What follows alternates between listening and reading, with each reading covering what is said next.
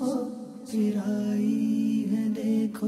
لبوں پر ذکر خدا، ذکر آقا۔ کھلے آنکھ صلی اللہ کہتے کہتے۔ الحمد للہ رب العالمین والصلاة والسلام علی خاتم النبیین۔ اما بعد، فاعوذ باللہ من الشیطان الرجیم۔ بسم اللہ الرحمن الرحیم۔ الصلاة والسلام علیکہ یا رسول اللہ وعلا آلکہ واصحابکہ یا حبیب اللہ۔ الصلاة والسلام علیکہ یا نبی اللہ وعلا آلکہ واصحابکہ یا نور اللہ مدنی چینل کے ناظرین ملاحظہ کر رہے ہیں، پروگرام کھلے آنکھ صلی اللہ کہتے کہتے۔ اللہ رب العالمین کی بارگاہ میں دعا کرتے ہیں مالک کریم۔ آج کے دن کو ہم سب کے لیے رحمتوں والا بنائے، برکتوں والا بنائے۔ ہمیں وہ کام کرنے کی سعادت اور توفیق عطا فرمائے، جس میں اس کی اور اس کے پیارے حبیب صلی اللہ تعالیٰ علیہ وآلہ وسلم کی رضا شامل ہو۔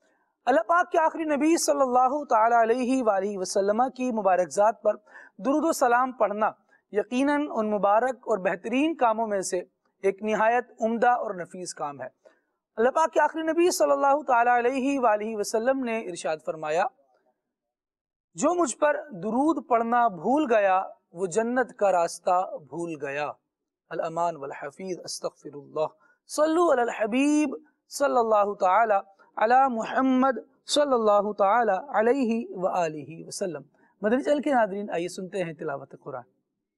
اعوذ باللہ من الشیطان الرجیم۔ میں اللہ تعالیٰ کی پناہ میں آتا ہوں شیطان مردود سے۔ بسم اللہ الرحمن الرحیم۔ اللہ کے نام سے شروع جو نہایت مہربان رحم والا۔ بلى قد جاءتك آياتي فكذبت بها واستكبرت وكنت من الكافرين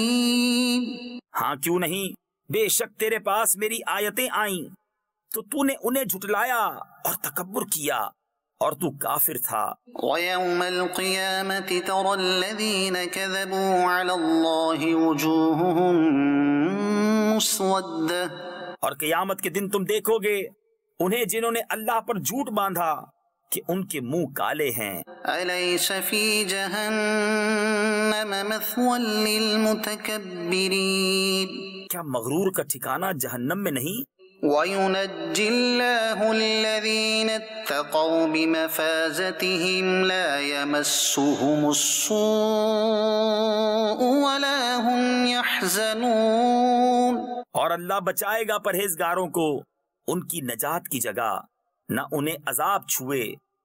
اور نہ انہیں غم ہو۔ الله خالق كل شيء وهو على كل شيء وكيل اللہ ہر چیز کا پیدا کرنے والا ہے اور وہ ہر چیز کا مختار ہے۔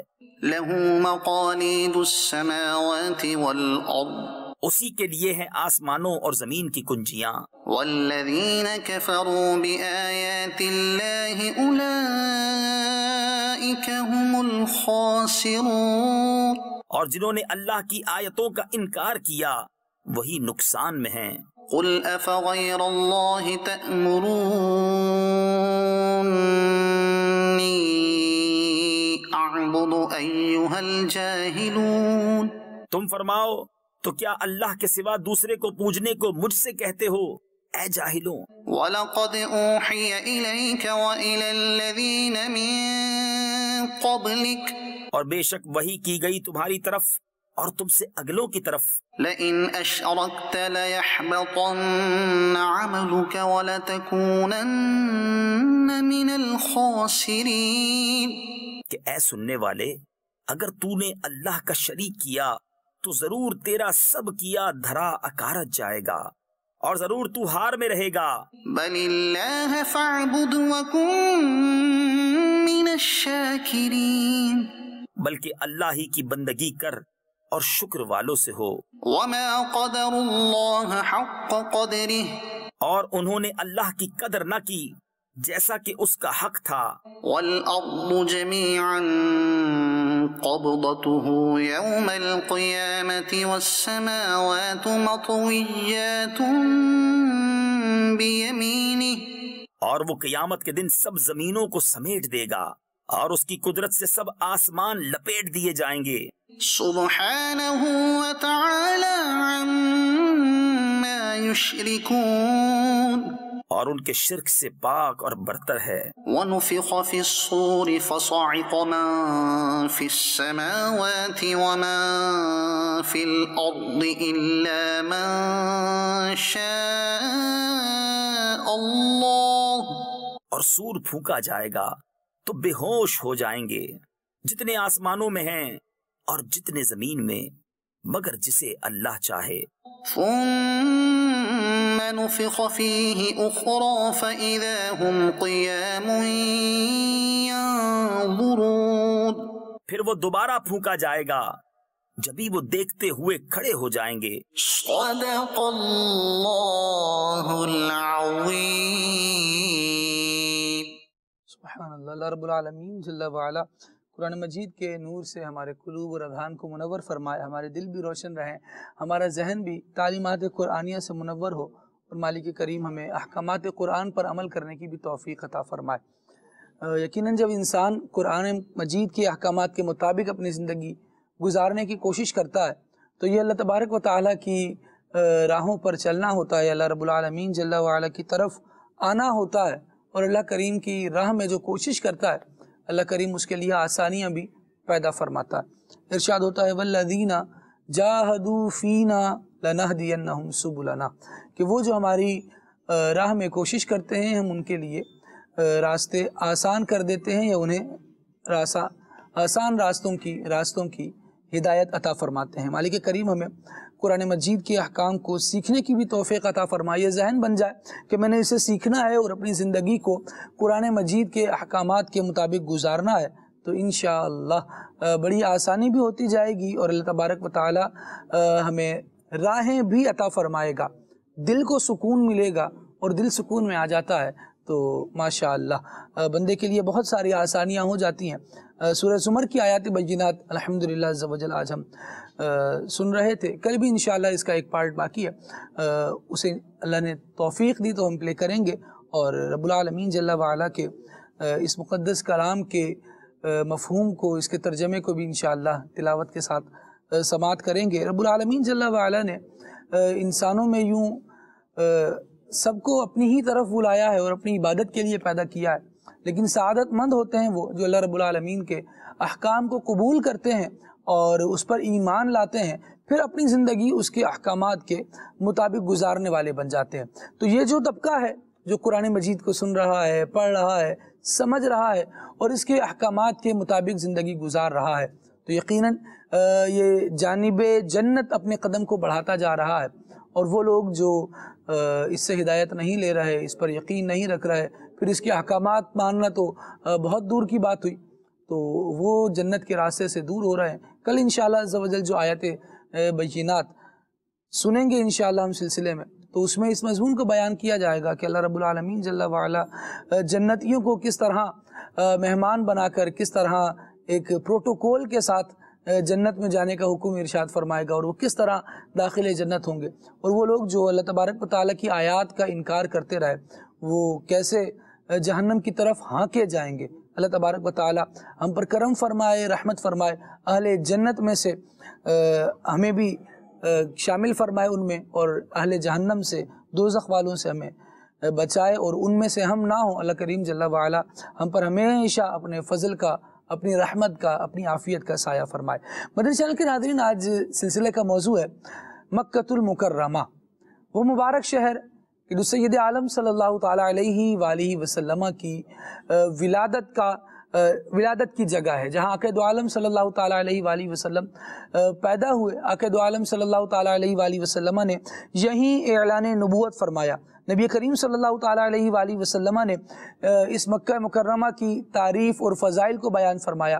اللہ رب العالمین جل وعلا نے اس مبارک شہر کی قسم ذکر فرمائی اور علماء نے اس بات کو بیان کیا کہ اللہ پاک کا اپنی صفات اور ذات کے علاوہ کسی اور چیز کی قسم یاد فرمانا اس چیز کا شرف اور فضیلت ظاہر کرنے کے لیے ہوتا ہے اور دیگر اشیاء کے مقابلے میں اس چیز کو ممتاز کرنے کے لیے ہوتا ہے جو لوگوں کے درمیان موجود ہے تاکہ لوگ جان سکیں کہ یہ انتہائی عظمت والی شے ہے، انتہائی شرافت والی شے ہے۔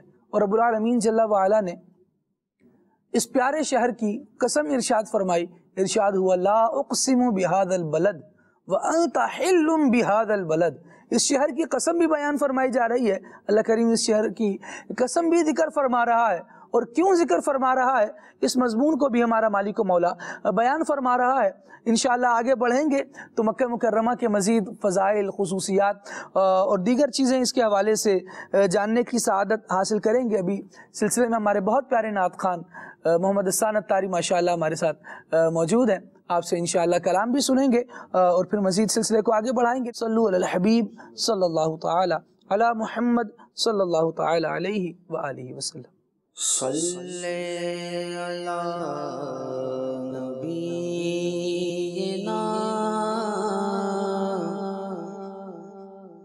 صلی اللہ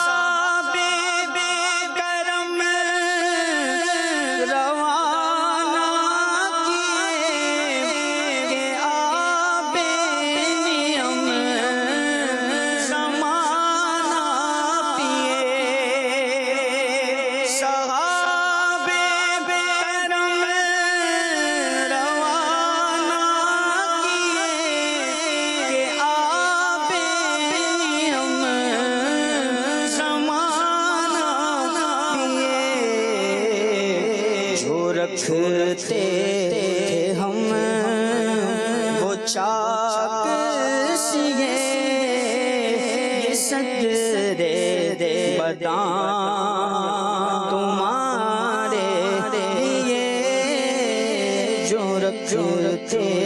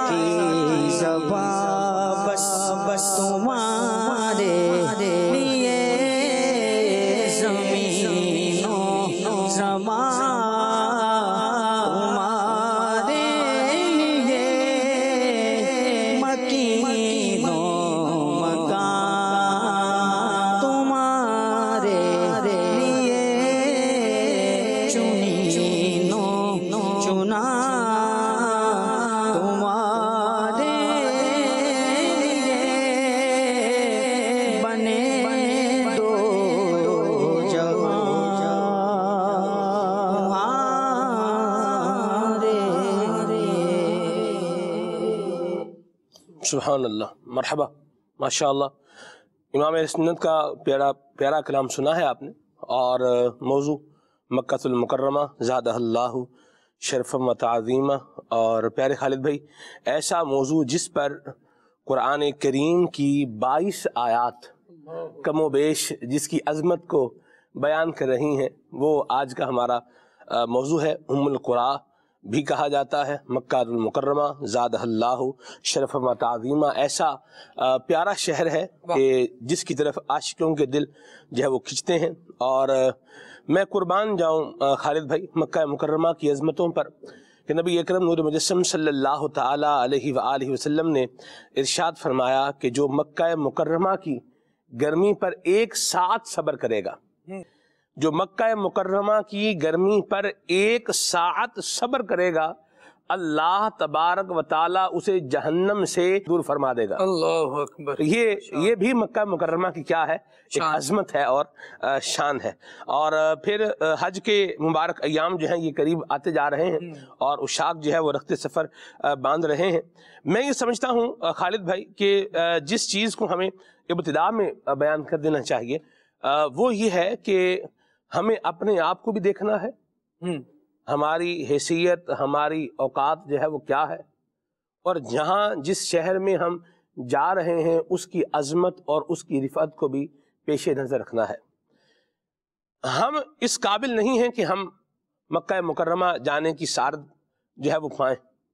یہ اللہ نے اپنا محض فضل فرمایا ہے کہ وہاں جانے کی سعادت سے ہمیں مشرف فرمایا ہے۔ وہاں جانے کی سعادت جو ہے اللہ کریم نے ہمیں عطا فرمائی ہے۔ تو یہ بندہ ذہن پہلے سے بنا کر کے رکھے کہ ہماری اوقات نہیں ہے ٹھیک ہے؟ نہ میرا کوئی یہ کمال ہے نہ مقام ہے یہ غرور کا۔ مجھے رکھتے ہیں وہ نگاہ میں یہ کرم ہے میرے حضور کا۔ تو ہماری آپ بندہ بولے کہ بڑ- بڑا یوں ہے بڑا یہ کیا ہے بڑا وہ کیا ہے یہ نہیں ہے کچھ بھی نہیں ہے۔ بس اللہ تعالیٰ نے اپنا فضل فرمایا ہے کہ اس مبارک شہر میں حاضری کی سعادت عطا فرمائی ہے۔ لوگ وہاں بعض اوقات لوگوں کو جس طرح کرتا ہوا دیکھتے ہیں اسی رو میں اسی انداز میں جو ہے وہ بہ جاتے ہیں۔ تو یہ ہمیشہ یاد رکھیں کہ ادب جو ہے یہ بہت ضروری ہے۔ بے شک۔ وہاں رہے ادب کے ساتھ بھی رہے اور پھر صبر و برداشت کے ساتھ بھی رہے خالد بھائی۔ کیا فرمائیں گے؟ ایسا ہی ہونا چاہیے اور اللہ کریم ہمیں ادب بھی سکھائے اور اس کے تقاضوں کو ادا کرنے کی سعادت بھی عطا فرمائے۔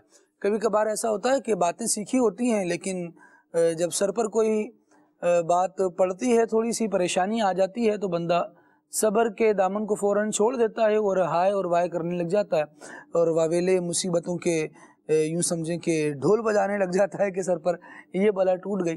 حالانکہ تھوڑا سا صبر کر لے تو آسانی ہو ہی جاتی ہے۔ اور بے صبری کی وجہ سے بسا اوقات بہت بڑے وبال کا شکار بن جاتا ہے۔ آپ دیکھیے تو صحیح کہ اگر کوئی شخص دنیاوی طور پر بھی کسی بڑی جگہ پر جائے کسی اچھی جگہ پر جائے جہاں کا پروٹوکول بہت زیادہ ہو تو وہاں پر قدم بھی ذرا ڈر ڈر کے اٹھا رہا ہوتا ہے اور یہ بات ذہن میں لا رہا ہوتا ہے کہ کہیں ایسا نہ ہو کہ کوئی بات مجھ سے یہاں کے تقاضوں کے خلاف ہو جائے۔ ایسا ہی اب جہاں جا رہا ہے جس جگہ پہنچ رہا ہے وہ سید عالم صلی اللہ تعالی علیہ وآلہ وسلم کی ولادت گاہ کے لیے اللہ تبارک و تعالی نے۔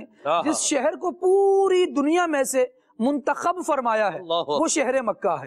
یوں اس کے فضائل پر بندہ اگر نظر رکھے بلکہ شیخ محقق نے اتنی اعلیٰ بات ارشاد فرمائی جی۔ فرمایا کہ اللہ رب العالمین جل وعلا نے جتنے انبیاء دنیا میں بھیجے جی ان سارے انبیاء میں سے جس کی قسم جس کی رسالت کی قسم ذکر فرمائی قرآن مجید میں فرمایا وہ نبی کریم صلی اللہ تعالی علیہ وسلم کی ذات ہے۔ سبحان اللہ۔ پھر فرمایا جتنے شہر بنائے ہیں ان شہروں میں سے جس شہر کی قسم ذکر فرمائی وہ شہر یہ مکہ مکرمہ ہے۔ اللہ اللہ اللہ۔ پھر فرمایا اسی شہر کی بنسبت یہ مقولہ مشہور ہوا کہ شرف المکانی بالمکین کہ مکان کو جو شرف و عزت ملی ہے وہ مکین کی وجہ سے ملی ہے۔ یہاں دیکھیے کہ سید عالم صلی اللہ تعالی علیہ وآلہ وسلم نے اپنی زندگی کے زیادہ تر عرصے زیادہ تر سال یہی مکہ مکرمہ میں گزارا ہے۔ اب ذرا اس کے پروٹوکول کو تو دیکھیے۔ یہ وہ شہر ہے کہ جس کو اللہ تبارک و تعالی جد الانبیاء کی دعا سے آباد فرماتا ہے۔ یہ وہ شہر ہے کہ جس میں جد الانبیاء اللہ تبارک و تعالیٰ کی بارگاہ میں یہ دعا کرتے ہیں کہ میرے مولا میں نے اپنی اولاد کو یہاں اس لیے چھوڑا ہے۔ تاکہ یہاں پر وہ آباد رہیں اور لوگوں کے دل اس کی طرف مائل ہو جائیں۔ اور تو رزق کے ذریعے سے اور پھلوں کے ذریعے سے ان کی مدد فرما۔ ہاں ہاں۔ حالانکہ جب چھوڑ رہے ہیں جی۔ تو بات یہ ہے بھی وادن غیر ذی زرع ان بیتک المحرم۔ ایسی جگہ پر چھوڑ رہے ہیں ایسی وادی میں چھوڑ رہے ہیں کہ جہاں زراعت نہیں ہوتی۔ جہاں کاشتکاری نہیں ہوتی اور دعا کر رہے ہیں ورزقہم من الثمرات۔ کاشتکاری یہاں نہیں ہوتی جی۔ لیکن دعا کیا ہے؟ میرے مولا ان کو پھلوں سے رزق عطا فرمانا۔ بھائی جب یہاں کاشت ہی نہیں ہوتی تو یہاں پھل کیسے آئیں گے؟ جی۔ اب یہ رب العالمین جل وعلا کے خلیل کی دعا ہے۔ اور دیکھیے آپ کے اللہ کریم نے اس دعا کو کیسا پورا فرمایا ہے کہ جو پھل شاید آپ کو کہیں نہ ملے۔ وہ آپ کو مکہ مکرمہ میں مل جاتا واہ یعنی وہ صرف حضرت اسماعیل علیہ السلام والسلام کے لیے اس دعا کو پورا نہیں فرمایا جی۔ بلکہ یہ اللہ کے خلیل کی دعا ہے۔ اللہ تبارک و تعالیٰ نے اس دعا کو ایسا پورا فرمایا ہے جی۔ کہ آج تک ہم دیکھ رہے ہیں کہ مکہ مکرمہ میں ماشاء اللہ ایک تو سلمان بھائی پھل کا ہونا اور دوسرا اتنا عمدہ ہونا۔ پھل اور جگہوں پر بھی پائے جاتے ہیں۔ لیکن جو جاذبیت جو خوشبو اور جو لذت مکہ مکرمہ میں انہی فروٹس کی جو آپ اپنے علاقوں میں کھا لیتے ہیں۔ جی۔ اور شاید آپ بہت سے لوگوں کا یہ دعویٰ ہو کہ ہمارے یہاں سے امپورٹ کیے جاتے ہیں۔ لیکن اللہ تبارک و تعالیٰ نے وہاں جو پہنچائے ہیں نا وہ حضرت ابراہیم کی دعا پر پہنچائے۔ ہیں تو وہاں جو لذت نصیب ہوتی ہے نا وہ یہاں نصیب نہیں ہوتی۔ اس جگہ کا پروٹوکول ہی الگ ہے۔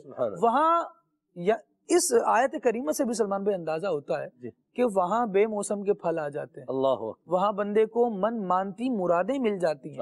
اب وہاں بھی بندہ جا کر اگر بے صبری کر رہا ہو وہاں بھی واویلا کر رہا ہو وہاں بھی اس کو یہی پریشانی ہو کہ یار مجھے یہ نہیں ملے گا۔ اگر میں جل- جلدی نہیں مچاؤں گا بھاگ دوڑ نہیں کروں گا جس ٹریول ایجنٹ نے مجھے یہاں تک بھیجا ہے اگر اس کو فون پہ فون نہیں کھڑکاتا رہوں گا بات بات پر اس کو سناتا نہیں رہوں گا اگر ایسا نہیں کروں گا تو جناب والا میرے رہن سہن میں کوئی کمی آ جائے گی۔ مجھے مصیبتوں میں رہنا پڑے گا ایسا نہیں ہے۔ یہ بلد الامین ہے۔ یہ امن کی جگہ ہے۔ امن والا گھر ہے۔ آپ تھوڑا سا اپنے مزاج کو قابو میں لائیں اور ادب کرنے کا ذہن بنا لیں۔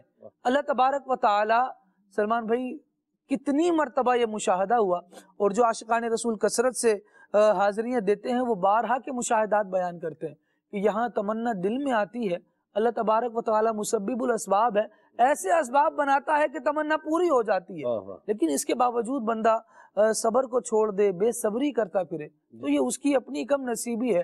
یہاں تو کبوتر بھی ایسے ہیں کہ جن کو امان دی گئی ہے۔ تو بندہ بھی اگر شرافت اختیار کرے اور اپنے مزاج میں ادب لے آئے اللہ تبارک و تعالیٰ اس کو بھی امان سے رکھے گا۔ بہت پیاری بات فرمائی۔ اللہ تعالیٰ آپ کو جزائے خیر عطا فرمائے۔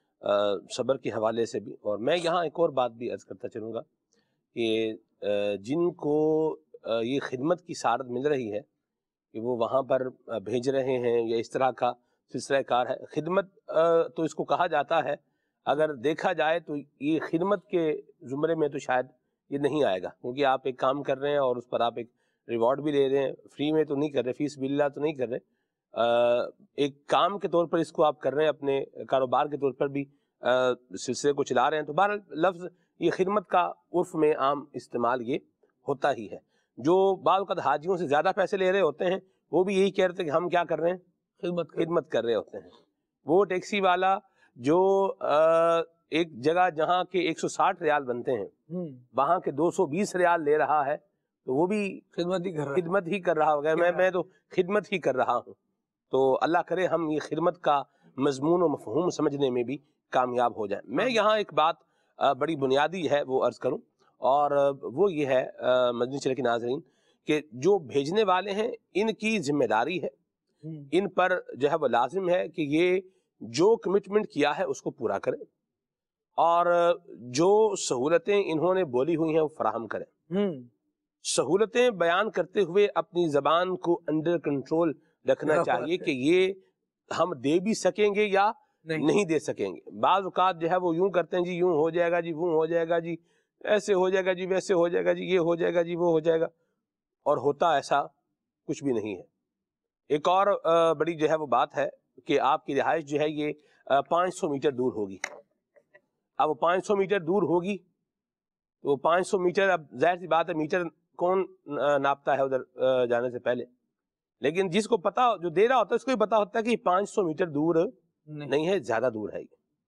لیکن یہ کر کے جھوٹ بول کر یوں بھی کر دیں گے۔ تو اس طرح کے کام بھی نہ کیے جائیں۔ اللہ کا بندے کو خوف بھی کرنا چاہیے۔ سب کچھ پیسے ہی نہیں ہوتا اور ہر بات کو پیسے کے اوپر لا کر ہی ختم نہیں کرنا ہوتا۔ آ، کچھ اور بھی کچھ امانت اور دیانت کے تقاضے ہوتے ہیں ان کو بھی کیا کرنا ہوتا ہے؟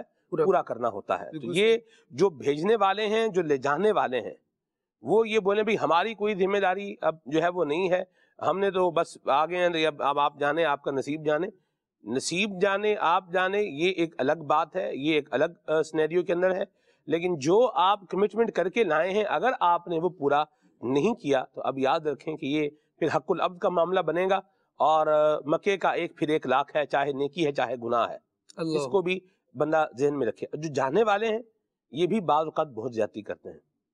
شیئرنگ پیکج جو ہے وہ لے کر گئے ہوتے ہیں اور وہاں جا کر پھر الگ جو ہے وہ رہائش کی۔ ڈیمانڈ بھی کرتے ہیں کہ ہمیں تو الگ کمرہ نہیں بھائی۔ حالانکہ پیکج کون سا آپ نے لیا ہے؟ پیکج جو ہے وہ شیئرنگ کا لیا ہے۔ اچھا بتایا بھی جاتا ہے کہ یہ شیئرنگ ہوگا۔ اور پھر اس میں جا کے وہاں بعض اوقات پھر جھگڑے کی کیفیت بھی بناتے ہیں۔ تو جو جا رہے ہیں ان کو بھی امانت دیانت کو اپنانا ہے۔ جو آپ نے کمٹمنٹ کیا ہوا ہے اسی پر رہنا ہے۔ اس کے علاوہ جو ہے وہ وہاں جا کر کے کوئی جھگڑے کی یا کوئی اس طرح کی فساد کی صورت جو ہے وہ نہ بنائے۔ اور اگر سب کچھ جو ہے وہ پورا ہو رہا کچھ چیزیں ہوتی ہیں جو ڈیو ٹو سرکمسٹانسز ڈیلے ہو جاتی ہیں۔ بعض اوقات لگتا ہے یار گاڑی کھڑی ہے یہ چلا کیوں نہیں رہے اس کو؟ جی۔ یہ بھی ایک بات ہے۔ یار گاڑی کھڑی ہے اب چلا کیوں نہیں رہے اس کو؟ تو بات یہ ہے کہ یہ جو گاڑی ہے یہ بھی شیئرنگ پر ہی ہے۔ آپ تو آ گئے ہیں لیکن وہ جو اور لوگ باقی ہیں ابھی دس آنا جن کا باقی ہے وہ آئیں گے تو ہی یہ کیا ہوگی؟ چلے گی۔ تو ساری چیزیں ہیں۔ تو اس طرح کی باتوں میں انتظار کرنا پڑ رہا ہے۔ تو اس کو تو بندہ یوں سمجھ لے کہ اللہ کی مہربانی سے چلو کوئی چار جو ہے وہ لمحے اور مل ہی رہے ہیں حرم شریف میں، مکے پاک میں وقت گزارنے کے، مدینہ طیبہ میں وقت گزارنے کے، تو یوں بھی ذہن بنایا جا سکتا ہے۔ اور میں اس کے پیرلر ایک بات اور بھی کر دوں کہ بعض اوقات جب ساتھ سفر کر رہے ہوتے ہیں، یہ سفر مکے مدینے کا ہوتا ہے تو عموماً دیکھا ہی جاتا ہے کہ لوگ ایک دوسرے کے ساتھ سفر کرتے ہیں کوئی بیس پچیس پینتیس تیس چالیس افراد یعنی یوں مہروز بھائی سلسلہ کار ہوتا ہے۔ تو بعض کی کیا صورتحال ہوتی ہے کہ این جو جانے کا وقت ہے نا جی جی۔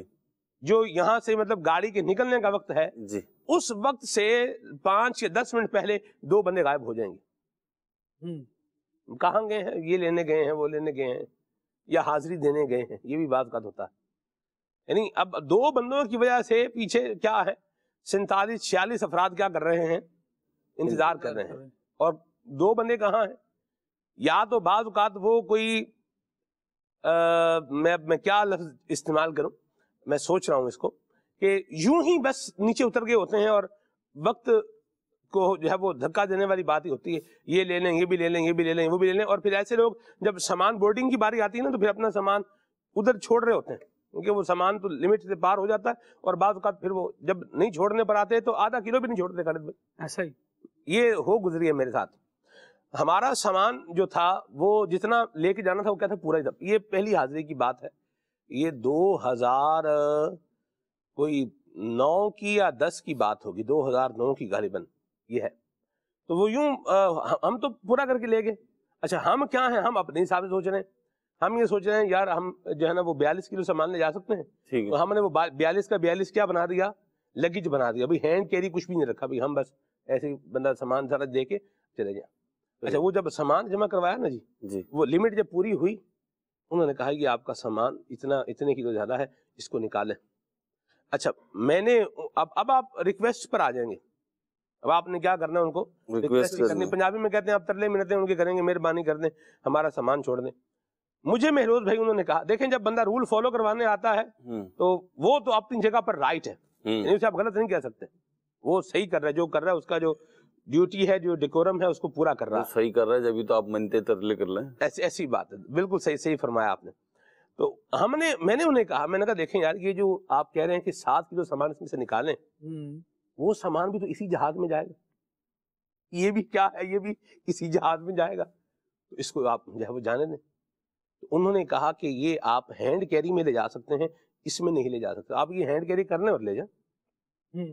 بات کیا ہے؟ ویلڈ ہے۔ اچھا پھر میرے مجھے یہ بعد میں بات سمجھ میں آئی بعض اوقات جو جہاز ہے نا جی اس میں جو لگیج اس کا جہاں رکھا ہوتا ہے اس کے سپیس کا بھی مسئلہ ہوتا ہے۔ ٹھیک ہے۔ آپ کا سامان بڑھ گیا تو آپ اس لگیج کے جو پورشن بنا ہوا ہے اس کے اندر سپیس کیا ہے اس کا؟ زیادہ استعمال ہوگا۔ اچھا وہاں انہوں نے کیا کرنا ہے؟ وہ جو اور بھی انہوں نے سامان ساتھ لے کر جانا ہے اس کے لیے جگہ کیا ہو جائے گی؟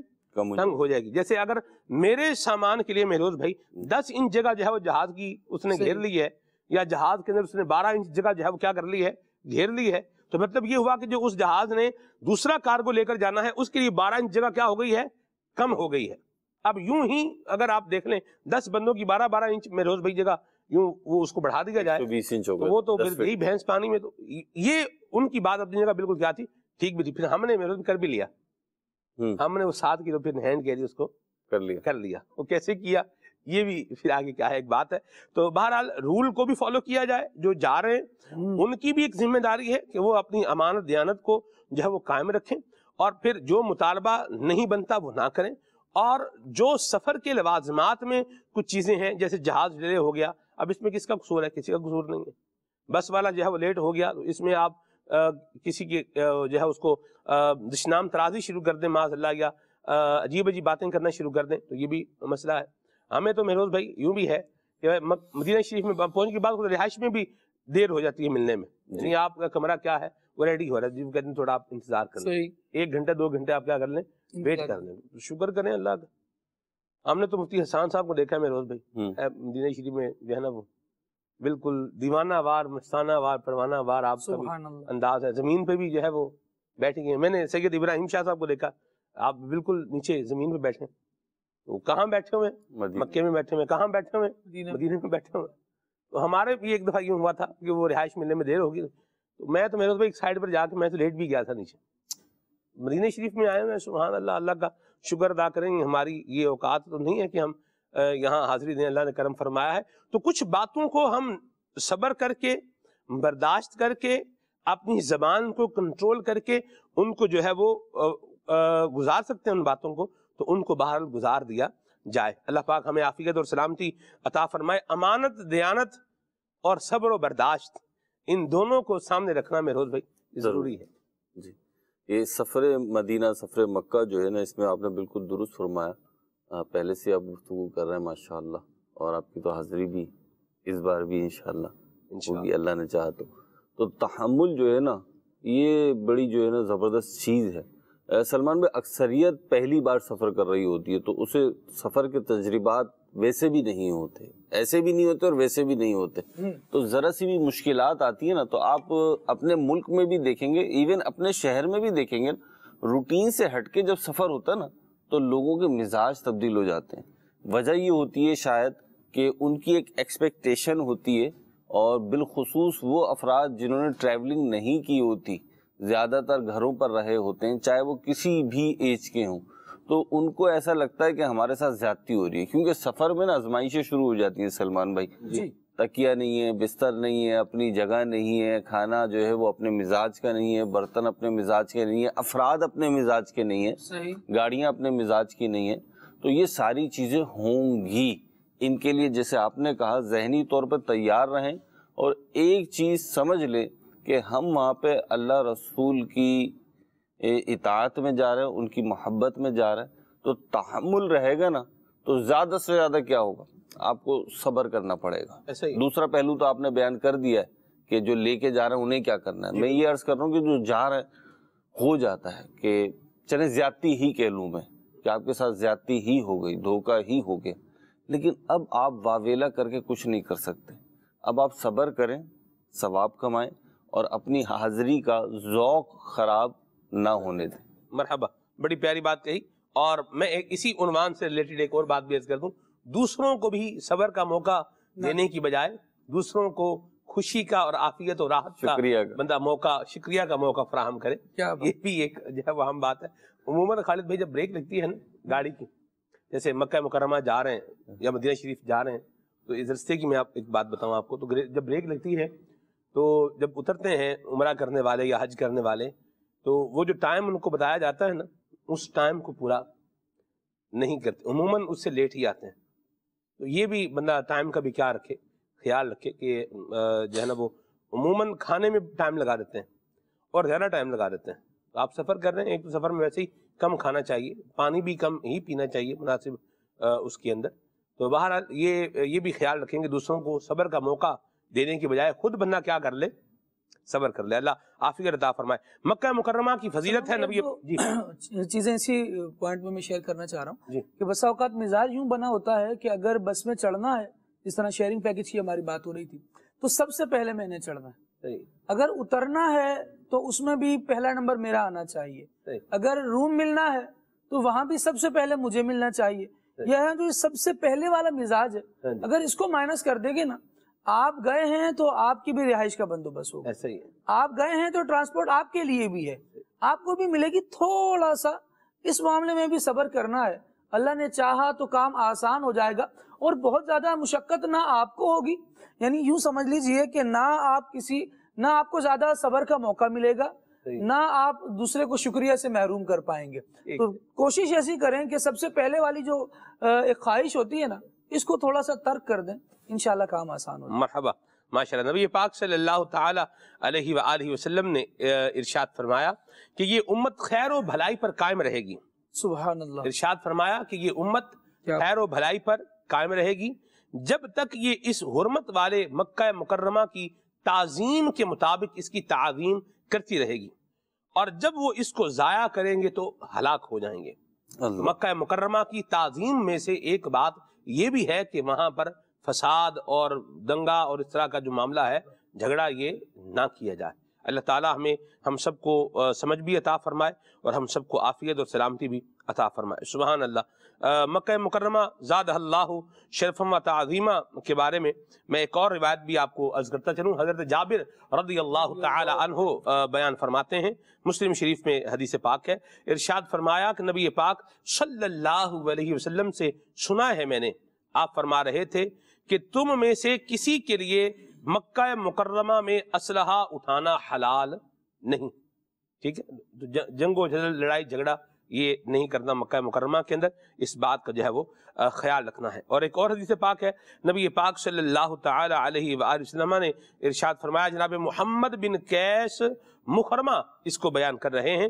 فرماتے ہیں، نبی پاک صلی اللہ علیہ وسلم نے فرمایا کہ جسے سرزمین مکہ یا مکہ مکرمہ جاتے ہوئے رستے میں موت آئی وہ شخص قیامت کے دن امن والوں میں اٹھایا جائے گا۔ سبحان اللہ۔ یہ آپ دیکھیں اس رستے میں تو بندہ دنیا سے چلا جائے میں روز بھائی تو بھی کیا ہے؟ یہ برکت والی ہی بات ہے۔ اور میں یہاں ایک اور بات بھی عرض کرتا کہ جس نے حج کا احرام باندھ لیا ہو نیت کر لی ہو اور اس کا حج سے پہلے اگر انتقال ہو جائے تو اس کے لیے اللہ تبارک بطالہ جو ہے ایک فرشتہ جو ہے وہ پیدا فرمائے گا۔ جو قیامت تک حج کرتا رہے گا اور اس کا ثواب اس دنیا سے جانے والے بندے کو ملتا رہے گا۔ تو اتنی عظمتوں اتنی برکتوں اتنی سعادتوں اتنی رحمتوں اتنی اللہ تبارک وطالعہ کی عنایتوں بھرا یہ سفر ہے۔ لہذا اس سفر کے اندر بندہ اللہ تعالیٰ کے فضل کا طلبگار بنتے ہوئے جائے۔ جس طرح ہمارے ذہن میں ہوتا ہے نا کہ ہم نے جب جانا ہے تو کھجور اور پانی لے کر آنا ہے۔ اللہ کرے ہمارا یہ ذہن بن جائے۔ کہ ہم نے اللہ تبارک و تعالیٰ کی بخشش کو اس کی مغفرت کو اور اس کے فضل کو جو ہے وہ لے کر کے آنا ہے۔ بخشش کے طلبگار بن کر اللہ تبارک و تعالیٰ کی رحمت کے طلبگار بن کر ہم نے جانا ہے۔ یہ ذہن بھی ہونا چاہیے۔ کھجور پانی کا منع نہیں ہے۔ لے کر آتے ہیں۔ ہم بھی ظاہر سی بات ہے لے کر آتے ہیں۔ جب سعادت ملتی ہے الحمدللہ۔ تو اس میں اس میں منع نہیں ہے۔ لیکن جو ایک ضروری بات ہے روز بھائی خالی جگہ جسے بھی بولے اس کو پر ہونا چاہیے۔ تو بندہ یہ بھی ذہن میں لے کر جائے۔ کہ مجھے کیا لے کر آنا ہے؟ مجھے نبی پاک کی شفاعت جو ہے وہ لے کر آنی ہے حضور میری شفاعت فرمائے اور میں اچھا بن کر آؤں۔ اللہ پاک کی رحمت کا حقدار جو ہے وہ بن کر کے آؤں۔ نمازوں کی پابندی بھی وہاں کرے۔ بعض وقت ہوٹل پہ سو ہی رہ جاتے ہیں سو سو رہے ہیں پھر سو ہی رہے ہیں گھوم رہے ہیں تو پھر کیا ہے؟ گھوم ہی رہے ہیں بعض اوقات سارا سارا دن میں روز بھائی حرم شریف سے باہر بھی گزار دیتے ہیں۔ بیٹھے ہوئے کیا کر رہے ہیں؟ چپس کھا رہے ہیں نوڈلس کھا رہے ہیں اور پتہ نہیں کیا کچھ کر رہے ہیں۔ یعنی وہ تو اب یہاں پر بھی کر ہی رہے ہیں۔ اور یہ کہاں ہے خالد بھائی؟ یہ مبارک شہر سے کیا ہے؟ حدود حرم سے بھی کیا ہے؟ باہر. باہر ہے. ٹھیک ہے؟ اچھا اس صحیح مقصد کے لیے گئے ہیں تو اس کی الگ بات ہے. دیکھیں جیسی نیت ہے ویسی مراد ہے. اور ویسا اس پر کیا ہے؟ حکم ہے. تو بہرحال بندہ اللہ تعالیٰ کی رحمتوں برکتوں اور سعادتوں کو جمع کرنے پر اگر فوکس کرے گا تو انشاءاللہ خیر مقصد ہماری جو ہمارا جو مقصد ہے بات کرنے کا وہ مقصد بھی کیا ہے؟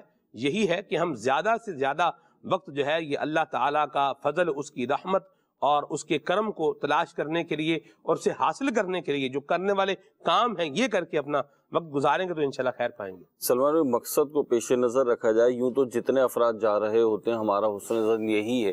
ان کا مقصد یہی ہوتا ہے کہ اللہ اس کے رسول کی اطاعت اور رضا، مغفرت اور حکم پر عمل کرنے کے لیے جا رہے ہیں۔ لیکن ظاہر سی بات ہے نفس کی شرارتیں ہیں اور ایک زندگی تک نفس کو جو ہے ہم پالتے رہے ہیں تو وہ اپنی شرارتوں سے تو نہیں رکنے والا، وہ اپنی شرارتیں کرتا ہے اور اتنے معزز مقامات میں پہنچنے کے بعد بھی وہ چاہتا ہے کہ ہم اس کی کم حق ہو کیا کہنا چاہیے کہ ادب نہ کر سکیں یا یوں کہہ لیجیے کہ جو برکات پا سکتے ہیں وہ نہ پا سکیں۔ دنیا میں بھی اگر ہم دیکھیں تو جتنی قیمتی چیز ہوتی ہے نا، اس کا استعمال بھی ویسا ہی ہوتا ہے۔ آپ نے دیکھا ہوگا چینی تو لوگ چائے میں نا دو چمچے بھی ڈال لیتے ہیں اور تین چمچ بھی ڈال لیتے ہیں۔ اللہ لیکن زعفران کسی کو اس طرح ڈالتے ہوئے آپ نے نہیں دیکھی ہوگی۔ ایسا ہی۔ زعفران چٹکی سے ہی ڈالی جاتی ہے۔ درست سمجھ رہے ہیں آپ میری بات؟ بالکل۔ تو جتنی قیمتی چیز ہوگی جتنی کمیاب چیز ہوگی۔ میں نے اکثر دیکھا ہے سلمان بھائی کہ قطع نظر اس بات کی کہ ابھی میں کس سینیریو میں بات کر رہا ہوں۔ بعض اوقات میں نے دیکھا کہ چیز اتنی لائک فائک نہیں ہوتی۔ لیکن کمیاب ہوتی ہے تو ایکسپینسو ہو جاتی ہے۔ صحیح۔ یعنی آپ کو وہ مزہ نہیں کرے گی لیکن کمیاب ہوتی ہے یعنی دستیاب نہیں ہوتی۔ بہت کیا کہیں گے کمیاب یعنی ملتی نہیں۔ ہاں ملتی نہیں کے ہوتی ہے۔ تو پھر اس کی ویلیو بڑھ جاتی ہے۔ ابھی پچھلے ہی دنوں پاکستان میں بھی اور دیگر جگہوں پہ بھی کووڈ کے دنوں میں ایک ٹیبلٹ تھی میڈیسن تھی۔ جی۔ وہ روپے دو روپے کی ایک ٹیبلٹ ہوگی شاید۔ تو وہ نہیں مل رہی تھی یہاں کراچی میں بھی نہیں مل رہی تھی۔ تو جناب وہ اس کا اسٹرپ جو تھا دس ٹیبلٹ کا وہ سو سو ڈیڑھ ڈیڑھ سو دو دو سو روپے کا بک رہا تھا۔ تو جو چیز کمیاب ہوتی ہے وہ ایکسپینسو ہو جاتی ہے۔ ویسے بھی ہو جاتی ہے اگر نہ بھی ہو تو۔ اور پھر جو واقعی میں قیمتی ہو وہ کیسی ہوتی ہے؟ تو ہم جہاں جا رہے ہیں وہ بہت ویلیویبل جگہ ہے۔ اس کی ویلیو بہت زیادہ ہے۔ اس کو سمجھیں اور وہاں سے جو پانا ہے نا وہ پائیں سلمان بھائی۔ جی۔ اگر وہ مثال دیتے ہیں علماء اکرام کہ اگر گھر میں آگ لگ جائے خدا نہ خواستہ کسی کے گھر میں آگ لگ جائے اب وقت تو کم ہے اس کے پاس نکلنے کے لیے تو وہ کیا چیز لے کے نکلے گا؟ جیسا وقت ہوگا ویسی چیز لے کے نکلے گا۔ اگر بالکل وقت نہیں ہے کہ یہ لمحے بھر بھی اور ٹھہرا تو اسے خطرہ ہے کہ میں جل جاؤں گا میری اولاد جل جائے گی فیملی جل جائے گی تو یہ تو سب کچھ چھوڑ چھاڑ کے کیا کرے گا؟ خود نکلے گا۔ اگر اس کے بعد تھوڑا بہت وقت ہے تو کوئی قیمتی چیز لے لے گا۔ اور وقت ہے تو اور چیزیں لے لے گا۔ تو اب یہ جو حرمین طیبین جا رہے ہیں تو وہ ظاہر سی بات ہے ضروریات زندگی ہیں۔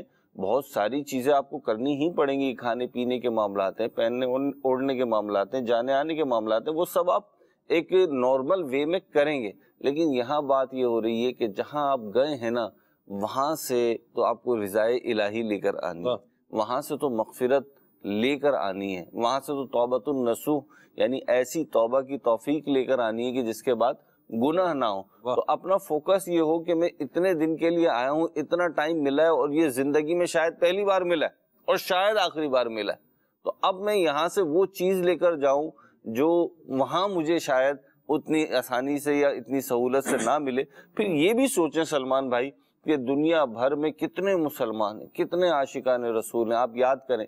کہ جب آپ نے فارم بھرا تھا جب آپ تیاریاں کر رہے تھے تو آپ کے ساتھ بہت سارے لوگ تیاریاں کر رہے تھے۔ اور بہت سب سے پہلا فارم بھرا تھا میروز بھائی۔ جی۔ اس وقت کو نام و نشان بھی نہیں تھا۔ مکتب المدینہ سے جو ہے نا وہ فارم خریدا تھا غالباً۔ یا یہ وہ پانچ روپے کا فارم تھا یا دو روپے کا فارم تھا۔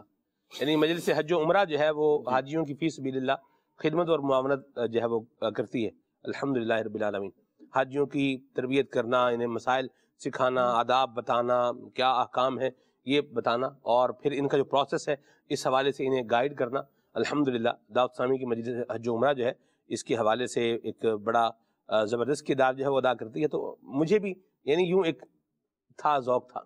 بلکہ استاد قبلہ آصف مدنی صاحب نے جس سال جو ہے وہ حج پر جانا تھا تو میں بھی کیا کرتا تھا ان کا نیچے ایک کاؤنٹر ان کا ہوتا تھا۔ تو وہاں میں بھی ایک دو گھنٹے کے لیے وہاں بیٹھتا تھا۔ وہ جو حاجی آتے تھے ان کا وہ قوائف اس کو فل کرتے تھے۔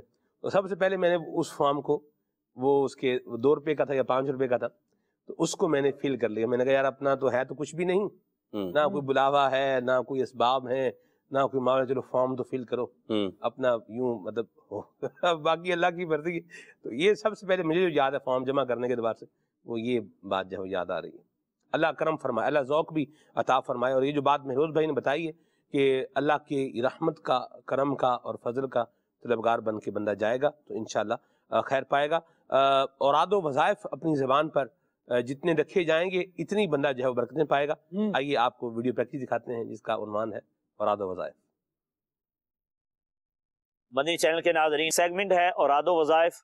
اس میں ہم وہ وظائف وہ اوراد سنتے ہیں کہ جو احادیث طیبہ میں بیان کیے گئے ہیں۔ آج جو ہم وظیفہ سنیں گے اللہ اکبر کیا کمال کا وظیفہ ہے۔ حضرت سین عبداللہ ابن مسعود رضی اللہ تعالیٰ عنہ۔ خلفائے اربا کے بعد سب سے بڑے فقہا صحابہ میں آپ کا شمار ہوتا ہے۔ بہت بڑے فقی صحابی تھے، بہت بڑا مقام تھا۔ آقا کریم صلی اللہ تعالیٰ علیہ وسلم بڑی عزت عطا فرماتے تھے انہیں۔ سیدنا عثمان غنی رضی اللہ تعالیٰ عنہ کے دور خلافت میں سیدنا عثمان غنی رضی اللہ تعالیٰ عنہ حضرت عبداللہ ابن مسعود رضی اللہ تعالیٰ عنہ سے کہنے لگے کہ کیا میں تمہارے لیے ماہانہ کچھ وظیفہ مقرر نہ کر دوں؟ یعنی مالی طور پہ کوئی خدمت تمہاری کچھ نہ کچھ نہ کر دیا کروں؟ تو حضرت عبداللہ ابن مسعود رضی اللہ تعالیٰ عنہ نے کیا ارشاد فرمایا؟ آپ فرماتے ہیں، لا حاجت علی مجھے اس کی کوئی حاجت نہیں۔ اللہ اکبر۔ آپ کے چونکہ بیٹے نہیں تھے، صرف بیٹیاں ہی بیٹیاں تھیں۔ تو حضرت عثمان غنی رضی اللہ تعالیٰ عنہ ارشاد فرمانے لگے کہ چلیں آپ کی بچیوں کے لیے، بیٹیوں کے لیے جو ہے، وہ کچھ دے دیا کروں۔ تو سیدنا عبداللہ ابن مسعود رضی اللہ تعالیٰ عنہ کا اپنے رب کی ذات پر توکل دیکھیں اور ساتھ ہی ہمیں ایک وظیفہ بھی عطا کر دیا۔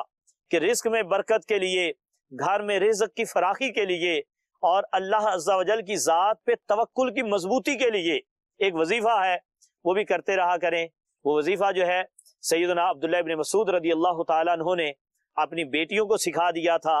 جب سیدنا عثمان غنی رضی اللہ تعالیٰ عنہ نے فرمایا کہ آپ کی بیٹیوں کے لیے کچھ خدمت کر دیا کروں، تو آپ رضی اللہ تعالیٰ عنہ نے فرمایا کہ نہیں، اس کی بھی حاجت نہیں ہے، کیونکہ میں نے اپنی بیٹیوں کو حکم دے دیا ہے کہ وہ روزانہ رات میں سورہ واقعہ کی تلاوت کرتی ہیں۔ اور میں نے نبی کریم صلی اللہ تعالی علیہ وآلہ وسلم کو یہ فرماتے ہوئے سنا ہے، من قرأ کل لیلت او قالا فی کل لیلت سورت الواقعات لم تصبہ فاقت ابدا حضور نے فرمایا کہ جو روزانہ رات میں سورہ واقعہ کی تلاوت کرے گا، اسے کبھی بھی فاقہ نہیں پہنچے گا۔ کبھی بھی وہ جو ہے یوں کہہ لیں کہ تنگ دستی میں اس حد تک نہیں جائے گا کہ کھانے پینے کا جو ہے اس کے پاس سامان ختم ہو جائے اور اس کے پاس جو ہے فاقوں کی نوبت آ جائے۔ ایسا نہیں ہوگا۔ لہذا ہمیں بھی چاہیے کہ روزانہ رات میں سورہ واقعہ کی تلاوت کریں، اپنے گھر والوں کو بھی بتائیں، بچوں کو بھی سکھائیں کہ وہ بھی گھر میں سورہ واقعہ کی تلاوت کیا کریں۔ اس سے انشاءاللہ رب تعالیٰ کی ذات پہ توکل بھی مضبوط ہوگا اور رزق میں بھی برکت ہوگی۔ اللہ تبارک و تعالی ہم سب کو عمل کی توفیق عطا فرمائے۔ آمین۔ بجاہ النبی الامین صلی اللہ تعالی علیہ وسلم۔ سبحان اللہ تلاوت قرآن بھی ہو اور تلاوت قرآن بھی کرنی ہے وہاں یہ بھی ذہن بنا کے بندہ لے کر جائے۔ کعب شریف کو دیکھ کر۔ اللہ اکبر جو سورہ طاہا پڑھنے کا مزہ ہے نا خالد بھائی؟ اللہ کی بھی کیا ہی بات۔ تو قرآن پاک بندہ پڑھے کعب شریف کو دیکھ کر تلاوت کر رہا ہے اور یہ بھی ذہن بنائے کہ قرآن پاک کی آیات ہیں جو یہی مکہ مکرمہ میں کیا ہیں نازل ہوئی ہیں مکی آیات ہیں۔ تو میں اس کی تلاوت کر رہا ہوں تو انشاءاللہ ذوق میں کیا ہوگا اور اضافہ ہوگا۔ اب یہاں میں آپ کو ایک اور بات بتاؤں۔ اللہ اکبر۔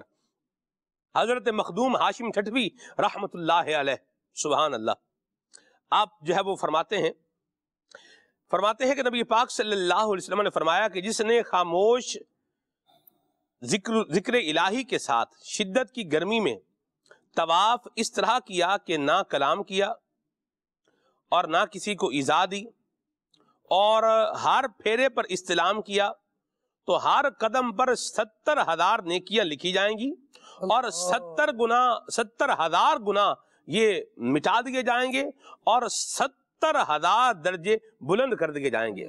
کتاب الحج میں آپ نے یہ روایت ذکر فرمائی ہے۔ خاموشی بھی ہو اور ذکر الہی بھی مہروز بھائی بندہ جو ہے وہ کرتا رہے اور گرمی میں بھی طواف کا مہروز بھائی اپنا ہی مزہ ہے۔ کیا بات اصل میں مزہ لینا سیکھ لینا بندہ۔ ہر چیز کا اپنا ایک لطف ہے ذوق ہے۔ اللہ توفیق عطا فرمائے۔ آمین آمین۔ چلیے جی آگے چلتے ہیں۔